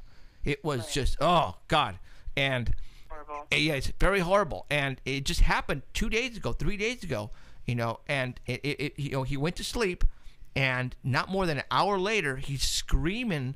And you know we're running up the stairs and we're going to his room and there he's shaking. He's just he's, just, he's like like it's minus five degrees outside. He's shaking so bad. He has tears coming down and, and his eyes are wide open and he's looking at something and it's like you know obviously we don't see what he's looking at but it's wow it's like i don't recall this when we were growing up You why what, now It, it started with him being ill. I wonder if he saw something. And these shadowy, dark, negative things really, really don't like when you see them. And they will turn their attention towards you if you're somebody who has spotted them oftentimes. Mm-hmm. I mean, a lot of people will send me emails like, you know, I saw the shadow thing at the end of the hall and it seemed to turn around and look at me and charge at me. And this is this is actually pretty uh, a common thing. So maybe that's why they're on their uh, he's on their radar, and it may not help that he's your kid. well you know I, I i want because we have an avenue here to get out to the masses I want Right. people. I want people out there who are watching the show or listening on Art Bell right now. If you have had kids, or if you have relatives or adults who have had the same experience, and they're called night terrors, and and if if, you, the way I described my son acting, if you ever had that or a son had that, I want you to let me know. Can you go to our website paranormalcentral.net? There is a forum there. I want you to tell me your story. And please, you guys, I don't want you guys to make up crap, all right? This is just the people who, you know, really had these experiences. I want to know what you guys are experiencing as well and see if, if it's exactly like Mike Christian, it, it, the way he's tripping out. Because it is just, you know, I should have recorded him, wow, but, but because it's, it's that crazy. It is is that, crazy? it Is, is is it that still crazy. going on? Um, the, the last one was about two nights ago. But see, he had the fevers um, last Wednesday, and he calmed down, and he and, and he didn't have a temperature anymore. But you know, Cheryl was seems to think that that he, he, he- lack of sleep. He was so so exhausted, so tired because he, he started going. He went to school, baseball practice, and he was still in that mode where he was so exhausted that you know he wasn't back to his normal routine again, and and and it hit him again because it usually only hits him when he has fevers. This he didn't have a fever this time, But he was And- still getting over it. That's what I was telling Yeah. Cheryl inside. yeah. So I, you know, I don't know. It's just it's just a very weird experience, and I want to hear from all you out there who have kids who have had night terrors. I want you to to describe to me what they are witnessing, what what they are telling you afterwards. Because we pull him aside and we try to tell him, I go. Christian, what di- what were you looking at? And, and and he's trying to describe it, but he can't. At one point in time, when he was younger, he said, at the corner there was bug black bugs crawling up the walls and stuff and he would you know how babies sometimes when they're young they're they're looking in their bedroom and they're crying and they're, and they're just looking at the corner this is what he was doing and he was pointing and he was shaking and he was screaming you know and his eyes are wide open it's a trip so i want to know from you guys out there if this has happened in your family and i want you to describe what your daughter or your son is going through because I want to I want I want to get I don't want to say I want to get to the bottom of this but I want to know a little bit more about this because it's intriguing because I, I you know me and Cheryl have witnessed this firsthand and it's some scary stuff so. And adults, adults. yeah I, I know well, I actually so- know somebody who knows Yeah. an adult and this is happening on a constant basis and they're in their 50s Oh gosh, it, you know, and see my my experience, my personal experience with these shadowy beings and, and shadow spiders is I, you know, I'm dreaming of them and I'm waking up to them, but I'm I'm experiencing them continuing. And uh, a lot of people that have experienced the Hat Man, you know, are dreaming about him. They wake up and he's an inch from their face. So is this an ongoing night terror, or is he really, you know, there? Right. And it, but it's it's such a particular looking guy This and is- particular looking shadowy thing. So Right. can we all be hallucinating the same things? I don't know. Now, now I made a comment and Cheryl laughed at me, but Uh oh. you know, Christian is into the video games and he's into you know he has my iPad and he's watching he's on Netflix and he's watching these scary you know goosebump ones and all this is it maybe that that's triggering it and Emerald is shaking her head and said no no it isn't No, that so, so okay No, too many kids that are playing and doing all that stuff too. And nah. By the way, he's a very cute kid. I, I saw pictures. of Okay, right on. Thank you. Okay. All right, Heidi, we're going to let you go. Yeah. Um, I'm going to talk Yeah. to Mickey here. So, all right, we'll see you next week, okay? Sounds good. Have a great day. Thank night. you, Heidi. Talk- Catch talk you later. you later, Heidi. Bye. All right. Bye bye. Okay, now, Mickey, you had a couple of, uh, you said a story. Yeah, um, it, they're shadow men, or shadow. Should say shadow men, shadow people Okay. uh, stories. Um, Now, tell, tell, now, the, re- the reason why I came in to know Mickey is Mickey also has a hobby aside to what he does on the side. I mean, you are a paranormal investigator, sort of, right? I, I used, Used to be. used to be an investigator of the paranormal. I, I looked into ghost stories, Okay. and ghosts and this and that and the other thing. And what caught, what made me interested in this was, growing up, we had some occurrences happen in our house that were unexplainable, Okay. and one of those were the shadow people. Okay. And my mother uh, saw them several times, and the one, the one that sticks out of my mind, which which terrified her to death, was she was out um, in our uh.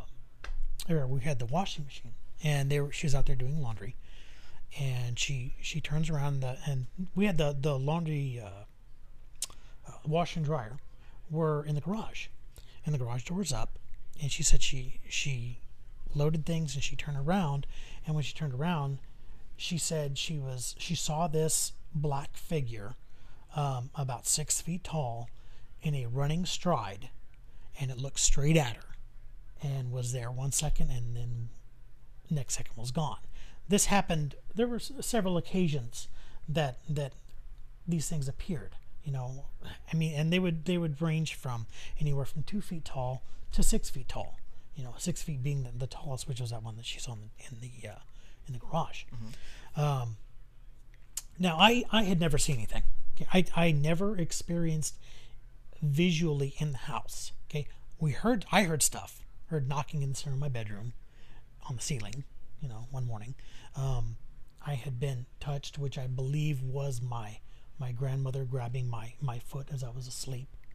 You know, I believe you know I believe that was that was my grandmother coming back and and and paying a little visit. You know, um, had never had any visual, okay, of anything.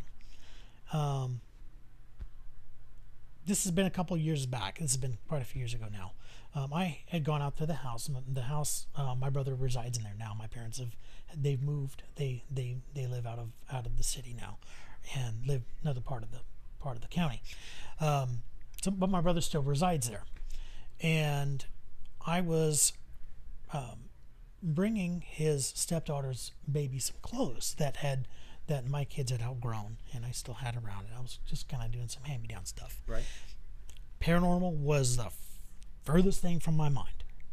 Okay, I'm there. Nobody's home. Okay, I thought, crap. I'll just I'll I'll uh, I'll come in and just drop the stuff off and then be on my way. You know, my kids are in the car. You know, so I take the bag of clothes and I and I you know make our secret way in and I and I and I go in um, through the through the back door. Excuse me. I, I went in there first and turned on the lights because nobody was there.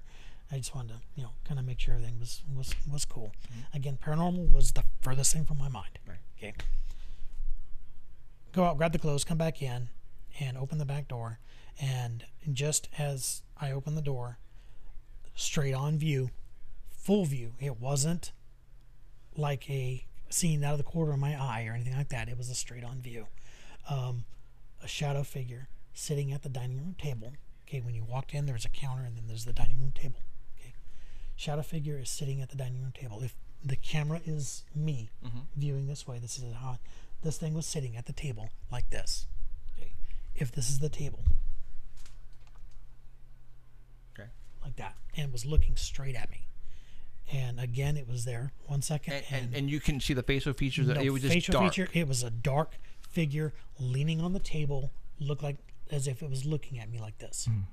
and scared the crap out of me. And I just I came in, and at that point, paranormal entered my mind. Right. You know, I was like, because I was, you know, kind of, I was just getting into it at that point. Okay, and I was like, okay, so I put the stuff down, sat there and listened for a minute, you know, and, and just, you know, tried to make a little more contact with it and no more. And so I Well, about- did did you think that maybe it was somebody who who had broken into it? Did, did that come into mind Absolutely at all? Absolutely not. No. No, When I opened the door, it was, like I said, it was a matter of it was one one second. One second it was there. Next second it was Okay. gone. Okay. Okay. It's not like I had a chance to to think initiate you know confrontation Right. or anything like that. It was just a there and then gone. Okay. So Now, did you have any people die at that house? I no, mean, my my parents or my father, um, my grandparents owned the land, Mm-hmm. and they subdivided and my gave my parents part of the land, and, they, and my dad built a house there. Mhm. However, the the land is built on um, where a natural pond used to be. They drained the pond, they put vineyards in. Okay, and my mom has speculated that you know perhaps this is like some kind of an old watering hole where the where the Indians would come from the the American Indians would come from the mountains because there, there are squaw holes up in uh, um, the Bass Lake area okay, where they they found them up there. Maybe they were traveling you know south and came across the natural pond. They used it for watering hole, camped there, whatever. You know, did somebody die there? We don't know. right. Okay. Um, found an interesting interesting thing did happen though when they were building the house. Um, they dug a well. Okay, they had, they had to dig- a well at when they when they got down. I think it was like seventy feet or whatever, however deep it was. They pull up a redwood stump. A what? A redwood stump. This is the valley floor. Oh, redwood. A redwood well, stump. but but we have redwood trees here though. not on the valley floor. We're talking about Easton. Okay. So, redwood being down here, we're like, what? No, they pulled up a stump. It was a redwood stump. So Seventy feet down. Wow. I'm, I'm, I'm guessing. I don't know how Right, di- right, how right. deep it was because that was before I was even born. Okay. Um, but they, you know, they dug down, found the water, and you know there was the the stump that was there. Hmm. So, Interesting. Wow. Okay. That's interesting. Oh God, I was just gonna say something too. and I forgot. Crapola.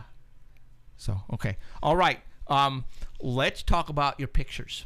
Do you want to talk about the Ouija board first? Oh, okay. Let's do the Ouija board. Uh, The- we got the Ouija- thirty minutes left, so we, we got enough time. We okay. got, we got enough time. All right. Um, Now, what the heck are you doing messing with the Ouija hey, board? this was this was early on again. Dude. We've all paranormal done thing. it. I It's- haven't. Hey, you I know what? I'm Okay, this is how I described it when I was doing paranormal stuff. okay. A spiritual chat room. You don't know who you're gonna get coming across. All right. Okay, I, they're not so much evil as they are a, a. It's almost like logging onto a chat room. You don't know who's gonna be there. Mm-hmm. Okay, and you're getting. You're getting evil. You're getting good. You're getting this. You're getting that. You don't know what it is that's coming across. Yeah. Scare the crap out of me. But go yeah, ahead. they're they're good. They're, you know, I shouldn't say good. They're they're just uh An avenue to talk to the dead. exactly yes. Well, okay. okay. Well, here's here's my story, okay? All right. And this is what made me an ab. I was I was dumbfounded by this, I, I, and I was to this day I'm still a believer in this. Okay, all right. We go to San Diego. We go into a Wiccan store down down there, and it's a it's a good Wiccan store. It's not like a you know, a, you know one where they just sell incense and you know chicken feet and this and the other thing. You know, they they actually sell it was authentic Wiccan stuff. And I came across this Ouija board. It was like ninety bucks. Okay, and it was really neat. I'd never seen it before. It was round, had a round planchette, you know, and it was it was cool, you know. So I thought I'm buying this thing, you know. So we bought it, you know, take it home. We've had it for a while, you know, and we we everybody says they dabble in it. Well, we dabbled in it, okay, and we had a party one evening, and we had we had a few friends over, and uh, we're sitting there, and we're we're I'm there and my ex-wife is there and we're we're using this board. You know, we're getting all this. You know, you know is this going to happen? Yes. No. You know, Right. all kinds of weird questions you can ask. Okay, and uh, I was our friend Keith was writing stuff down as as um as it was coming through. Well, um, Keith said, "I want to I want to give it a try." So we're like, all right. So I'll, I'll tell you what, I'll take a break. You you take over and I'll write the stuff down. You know. So I went and I was you know went and got something to drink. I'm writing stuff down, and uh, my ex and Keith are using this board. You know. Now, here's where it gets a little weird. Okay, says that this spirit of a I think it was like a nine, nine, ten, maybe eleven year old boy came through. Okay, and don't even know the name, you know, and it said that he died on the property. Okay, so so you guys are asking questions, and then the thing is moving. the thing is moving, and yeah. he's writing And down these I'm, letters. I'm writing the things down as Keith and my ex are going over the board. Okay. Okay. And I go, okay, you know, died on the property. All right, go ahead. You know, let's. Never heard of that one. You know. Now my house is built in forty four or forty five. It's po- just a post war house, so it's kind of you know Where you're at right now? this is my old Oh, house. your old house. Got old it. house. And it's in the old fig garden of Fresno, which is a very extremely it's a very old area. Okay. Um anyway, the kids the child's spirit um, said that he died on the property. And I go, Okay. I'm like so they they asked, Well, how did you die? And he said he drowned. And I go, Drown. Okay, that's okay. You know? So and they I go, ask it how he drowned. And, he, and they said, well, how did you drown? It says, I drowned in the river. Okay. And right then, I, and it, it, it clicked with me. I was like, wait a second. I go, ask it what kind of river. And they ask it. And it spells out canal. I'm like, stop. Now I have no contact with the board. I am not touching the board. I'm not touching Keith. I'm not touching my ex. Nothing. I have no contact with this board whatsoever. I go, everybody, stop. Stay here. I got something to show you. I run into my office, go through my files, I grab out my old uh, appraisal for my property. Okay, my ex has no clue. She's she. We were, you know, I don't even. I, I think this was prior to us being even being married. She had no idea of this. I know this for a fact. She had no idea of this. I pull out the old assessor's map from 1940s. Okay, running through my backyard is a canal. In the 1960s, they moved it across the street, Ah. divided the land, deeded the, the land where the canal ran through Right. To the people who owned the house at the time, and moved the canal, moved it underground. And I was like, "You guys got to see this." And I showed them, and they just they turned white. They were like, "Oh my god!" And I was like, "Yep." Now, did you ask?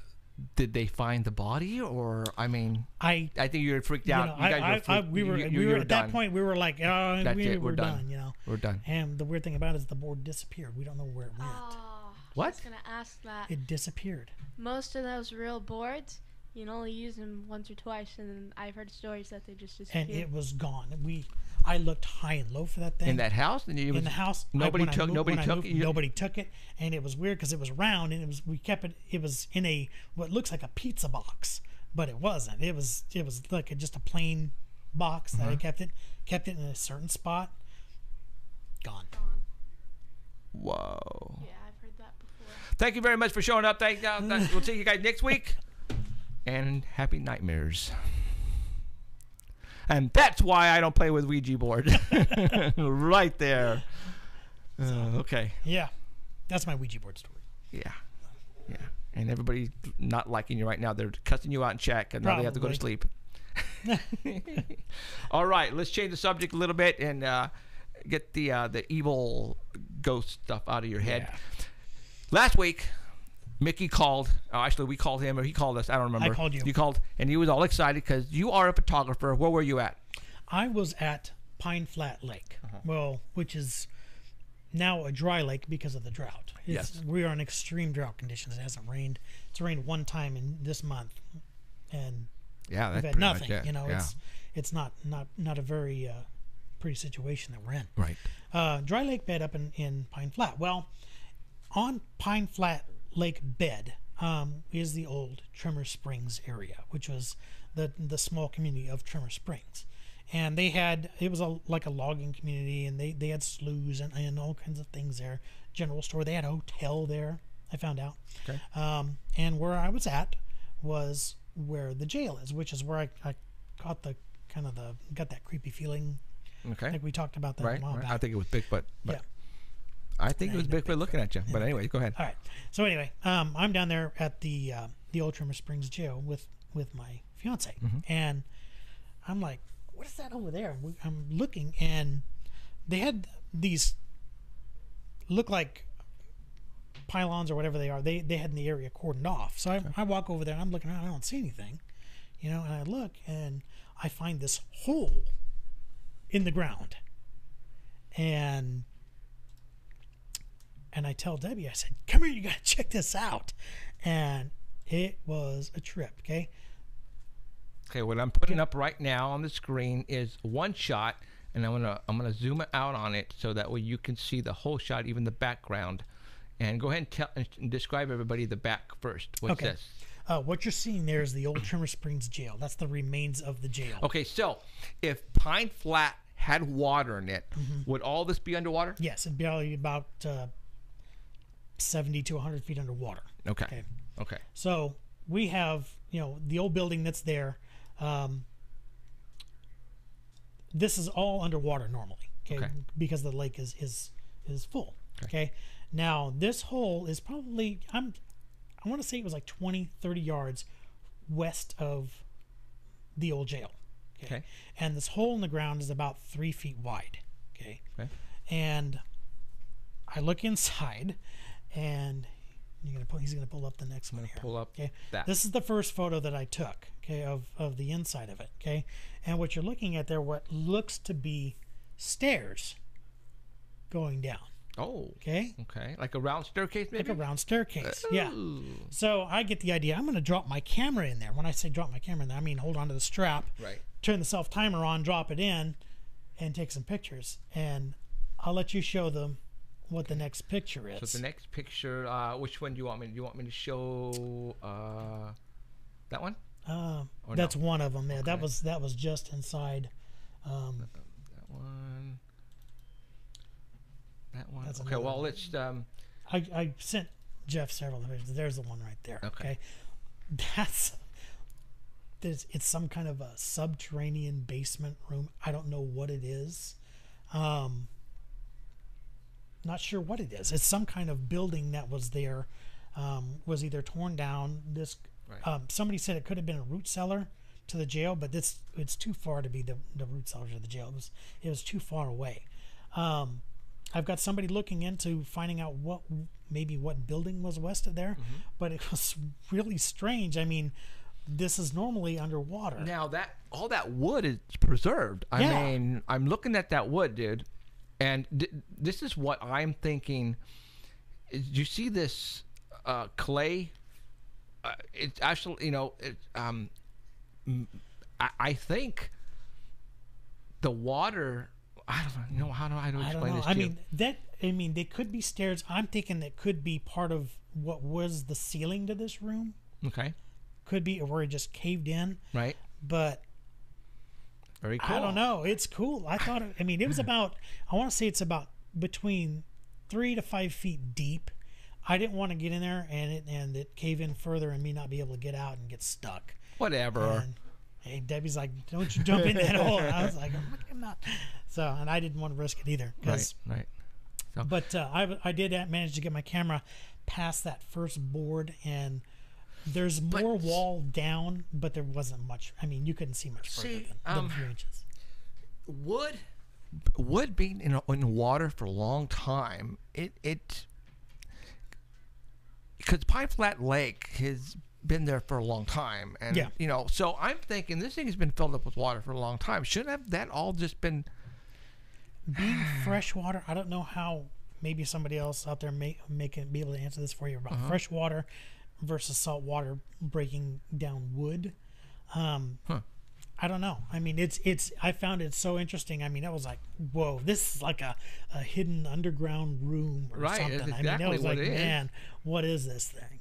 Wow.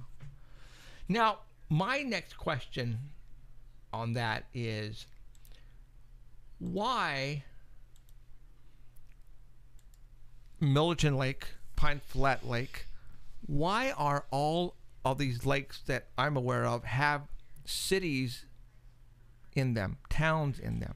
I don't know. Um, I mean, I know that they they built um, the dams Mm-hmm. um, for hydroelectricity, but You know what I'm saying? they were all on the lake. They were they're they're always on the river though. So that's one thing to keep in mind is they they built these towns against rivers, and when they got the idea of maybe putting a dam there, suddenly these that were against these rivers now are dammed. Yeah, it's going to be covered with water, Water. because it's underwater. Because interesting. it's because they got it. To, it's part of the reservoir now. Right, So right. that may be one reason why that they flood these. As a Millerton Lake, like you said, Right. um, has an underground. Is there's a town under there. It's Yeah. Millerton. yeah. So Hmm. I. I just found that interesting that uh, they would be underwater, like maybe they're trying to hide something. Yeah, You know me. You know me. I'm always guessing and thinking that uh, conspiracy, and that's just me. So, so, all right. Well, you know what? We got 15 minutes left for the show. Emerald, uh, anything going on in your life? Uh, Oprah, uh, Hitler. this Oh. time we want to talk about that. I don't care. Um, hold on, Mickey. Um, we had a guest last week. Guess. um, uh, Dr. Turi, and um, uh, apparently, uh, you know, Emerald said some stuff, or no, did you during the show? Yeah. Yeah. Okay. Well, and then, and then obviously, you know, Dr. Turi didn't find it. Um, he didn't like like it basically. So for those who have been watching us on Facebook, Emerald and Dr. Turi have been going at it. I Left and have right. not. No, No, I have okay. not. Well, no, no, no. I ta- take that back. They for the first day, I think. No, it was just that night, the email. The emails, And right? then I got an article written about me. and um, Yeah. So, uh, so yeah. So, um, you know, all Emerald was doing was questioning some stuff. And that's uh, what, and and um, and uh, Dr. Turi uh, fired back, and um, I stood back and I just watched, you know, and I just watched all of it go down. Um, and then your mom got involved. Okay, see, I had no idea, and I did not send her on him. Because it was on, I guess one of the fans posted on my wall, and I was like, oh, that's because I, kn- I didn't even know. Right. So I was like, oh, that's kind of cool. Like, I didn't think anything of it because I knew. I kind of figured. I was like, whatever. So it didn't really bother me. Right. And then I was like, oh, my mom. And I was like, oh. but I, I- was like, I Your, don't know. your mom, your mom went after Dr. Turi. Yeah. I missed last week's show. You got to film again. Okay. Oh, it was. I don't know. I question everything on the show. I play devil's advocate. That's what I do. I don't question guests. I have no problem questioning anybody. Right. Um. And I was just like, okay, well, We had a guest last week, and he is Yeah. a um, uh, an, um, I don't want to say astro. He reads the stars. Yeah. Okay. And um, he can sort of kind of well, actually he says he can predict certain dates and events of stuff that are happening. Yeah. Um, and And last I never said he was wrong. right. And I mean, all I mean, respect to the doctor, whatever. I never once said that. Okay, you're BS. My thing was that if you have like this information, you want to help people, Why then you share it? help people. And I mean, we've had guests like try to contact him for help, and he's like, "Oh, well, it's seven hundred dollars for a Skype session." I'm like, you can't do that. Like, that's what I was questioning. I was like, and it wasn't even that I didn't have the services because I couldn't care less. But my thing was, if you want to help people, you help people. And maybe that's just my mentality. I, I don't know. I that's not what I do for a living. But, and that's all it was. It was questioning. And then that's when the shots started getting fired, and I was like, I'm not gonna argue with you. I, am not gonna sit here and go back and forth. I didn't care one way or the other. I was just like, you cancel my membership. I don't care. See, um, Penn and Teller came out a few years ago, and we're talking about um, people making these predictions. Like Nostradamus predicted 9/11, and the all these people predicted 9/11 and this and that. Well, why the hell didn't they come forward and say it before it happened? Yeah. Okay, why not? Okay, if they predicted it, why not come forward and say, "Hey, you know what?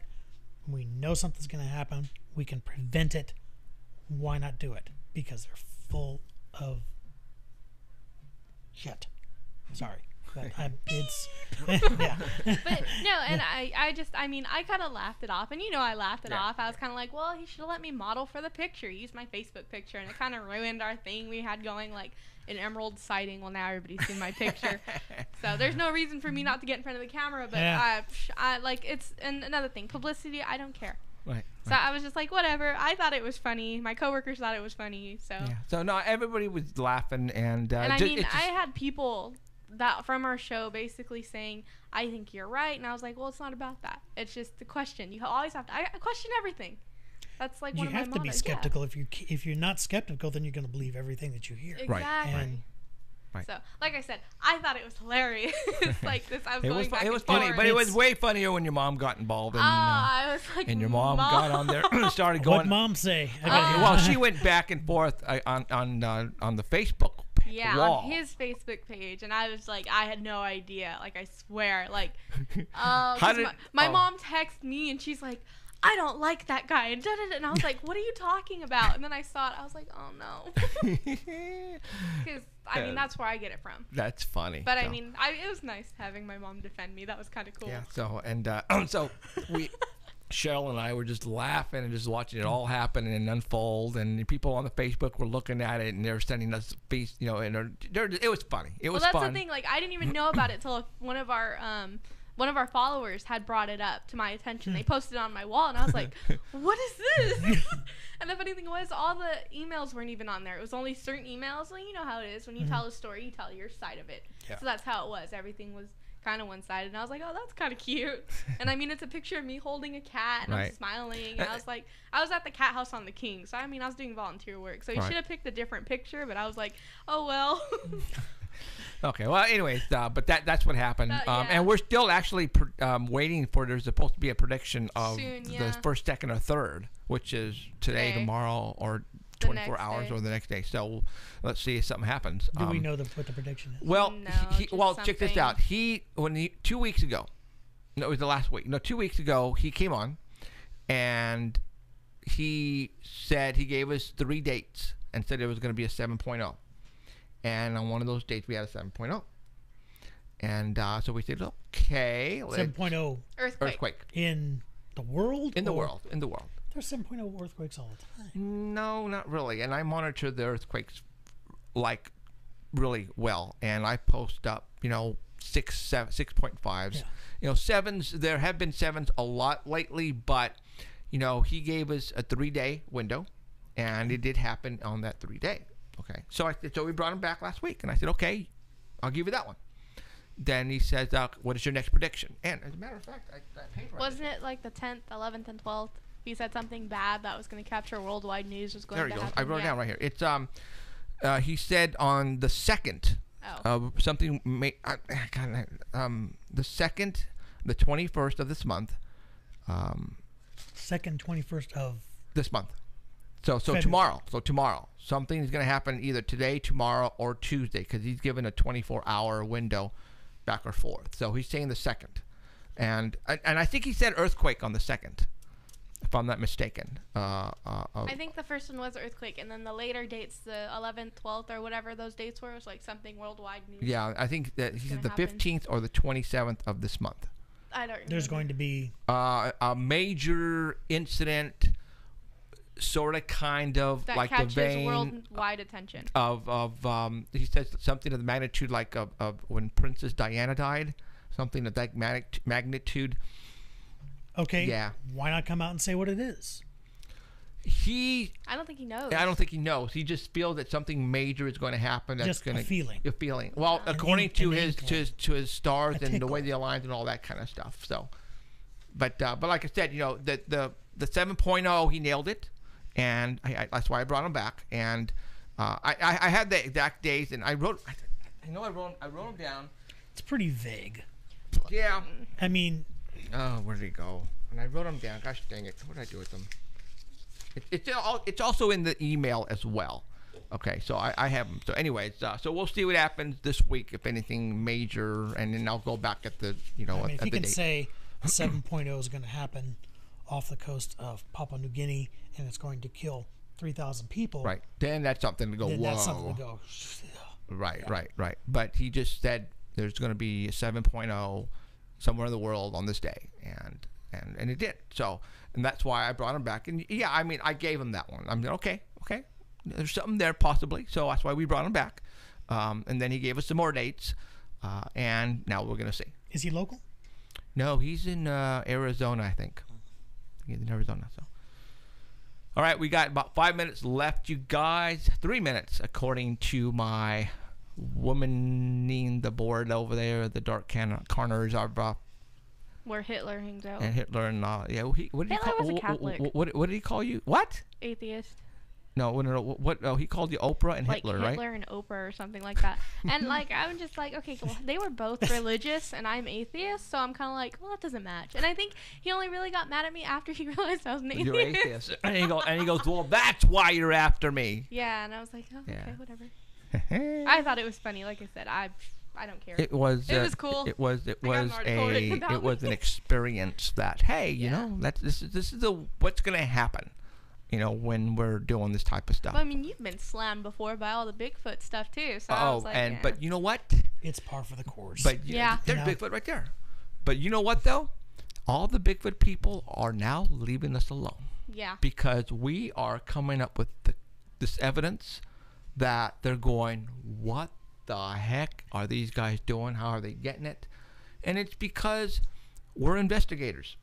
You're an investigator. You know, like, you know, you're going with me up there to go analyze some evidence and um, and uh, and that's just what we do, guys. You know, when we're not working, if we see an opportunity to to do what we're gonna do, we're going, we're going.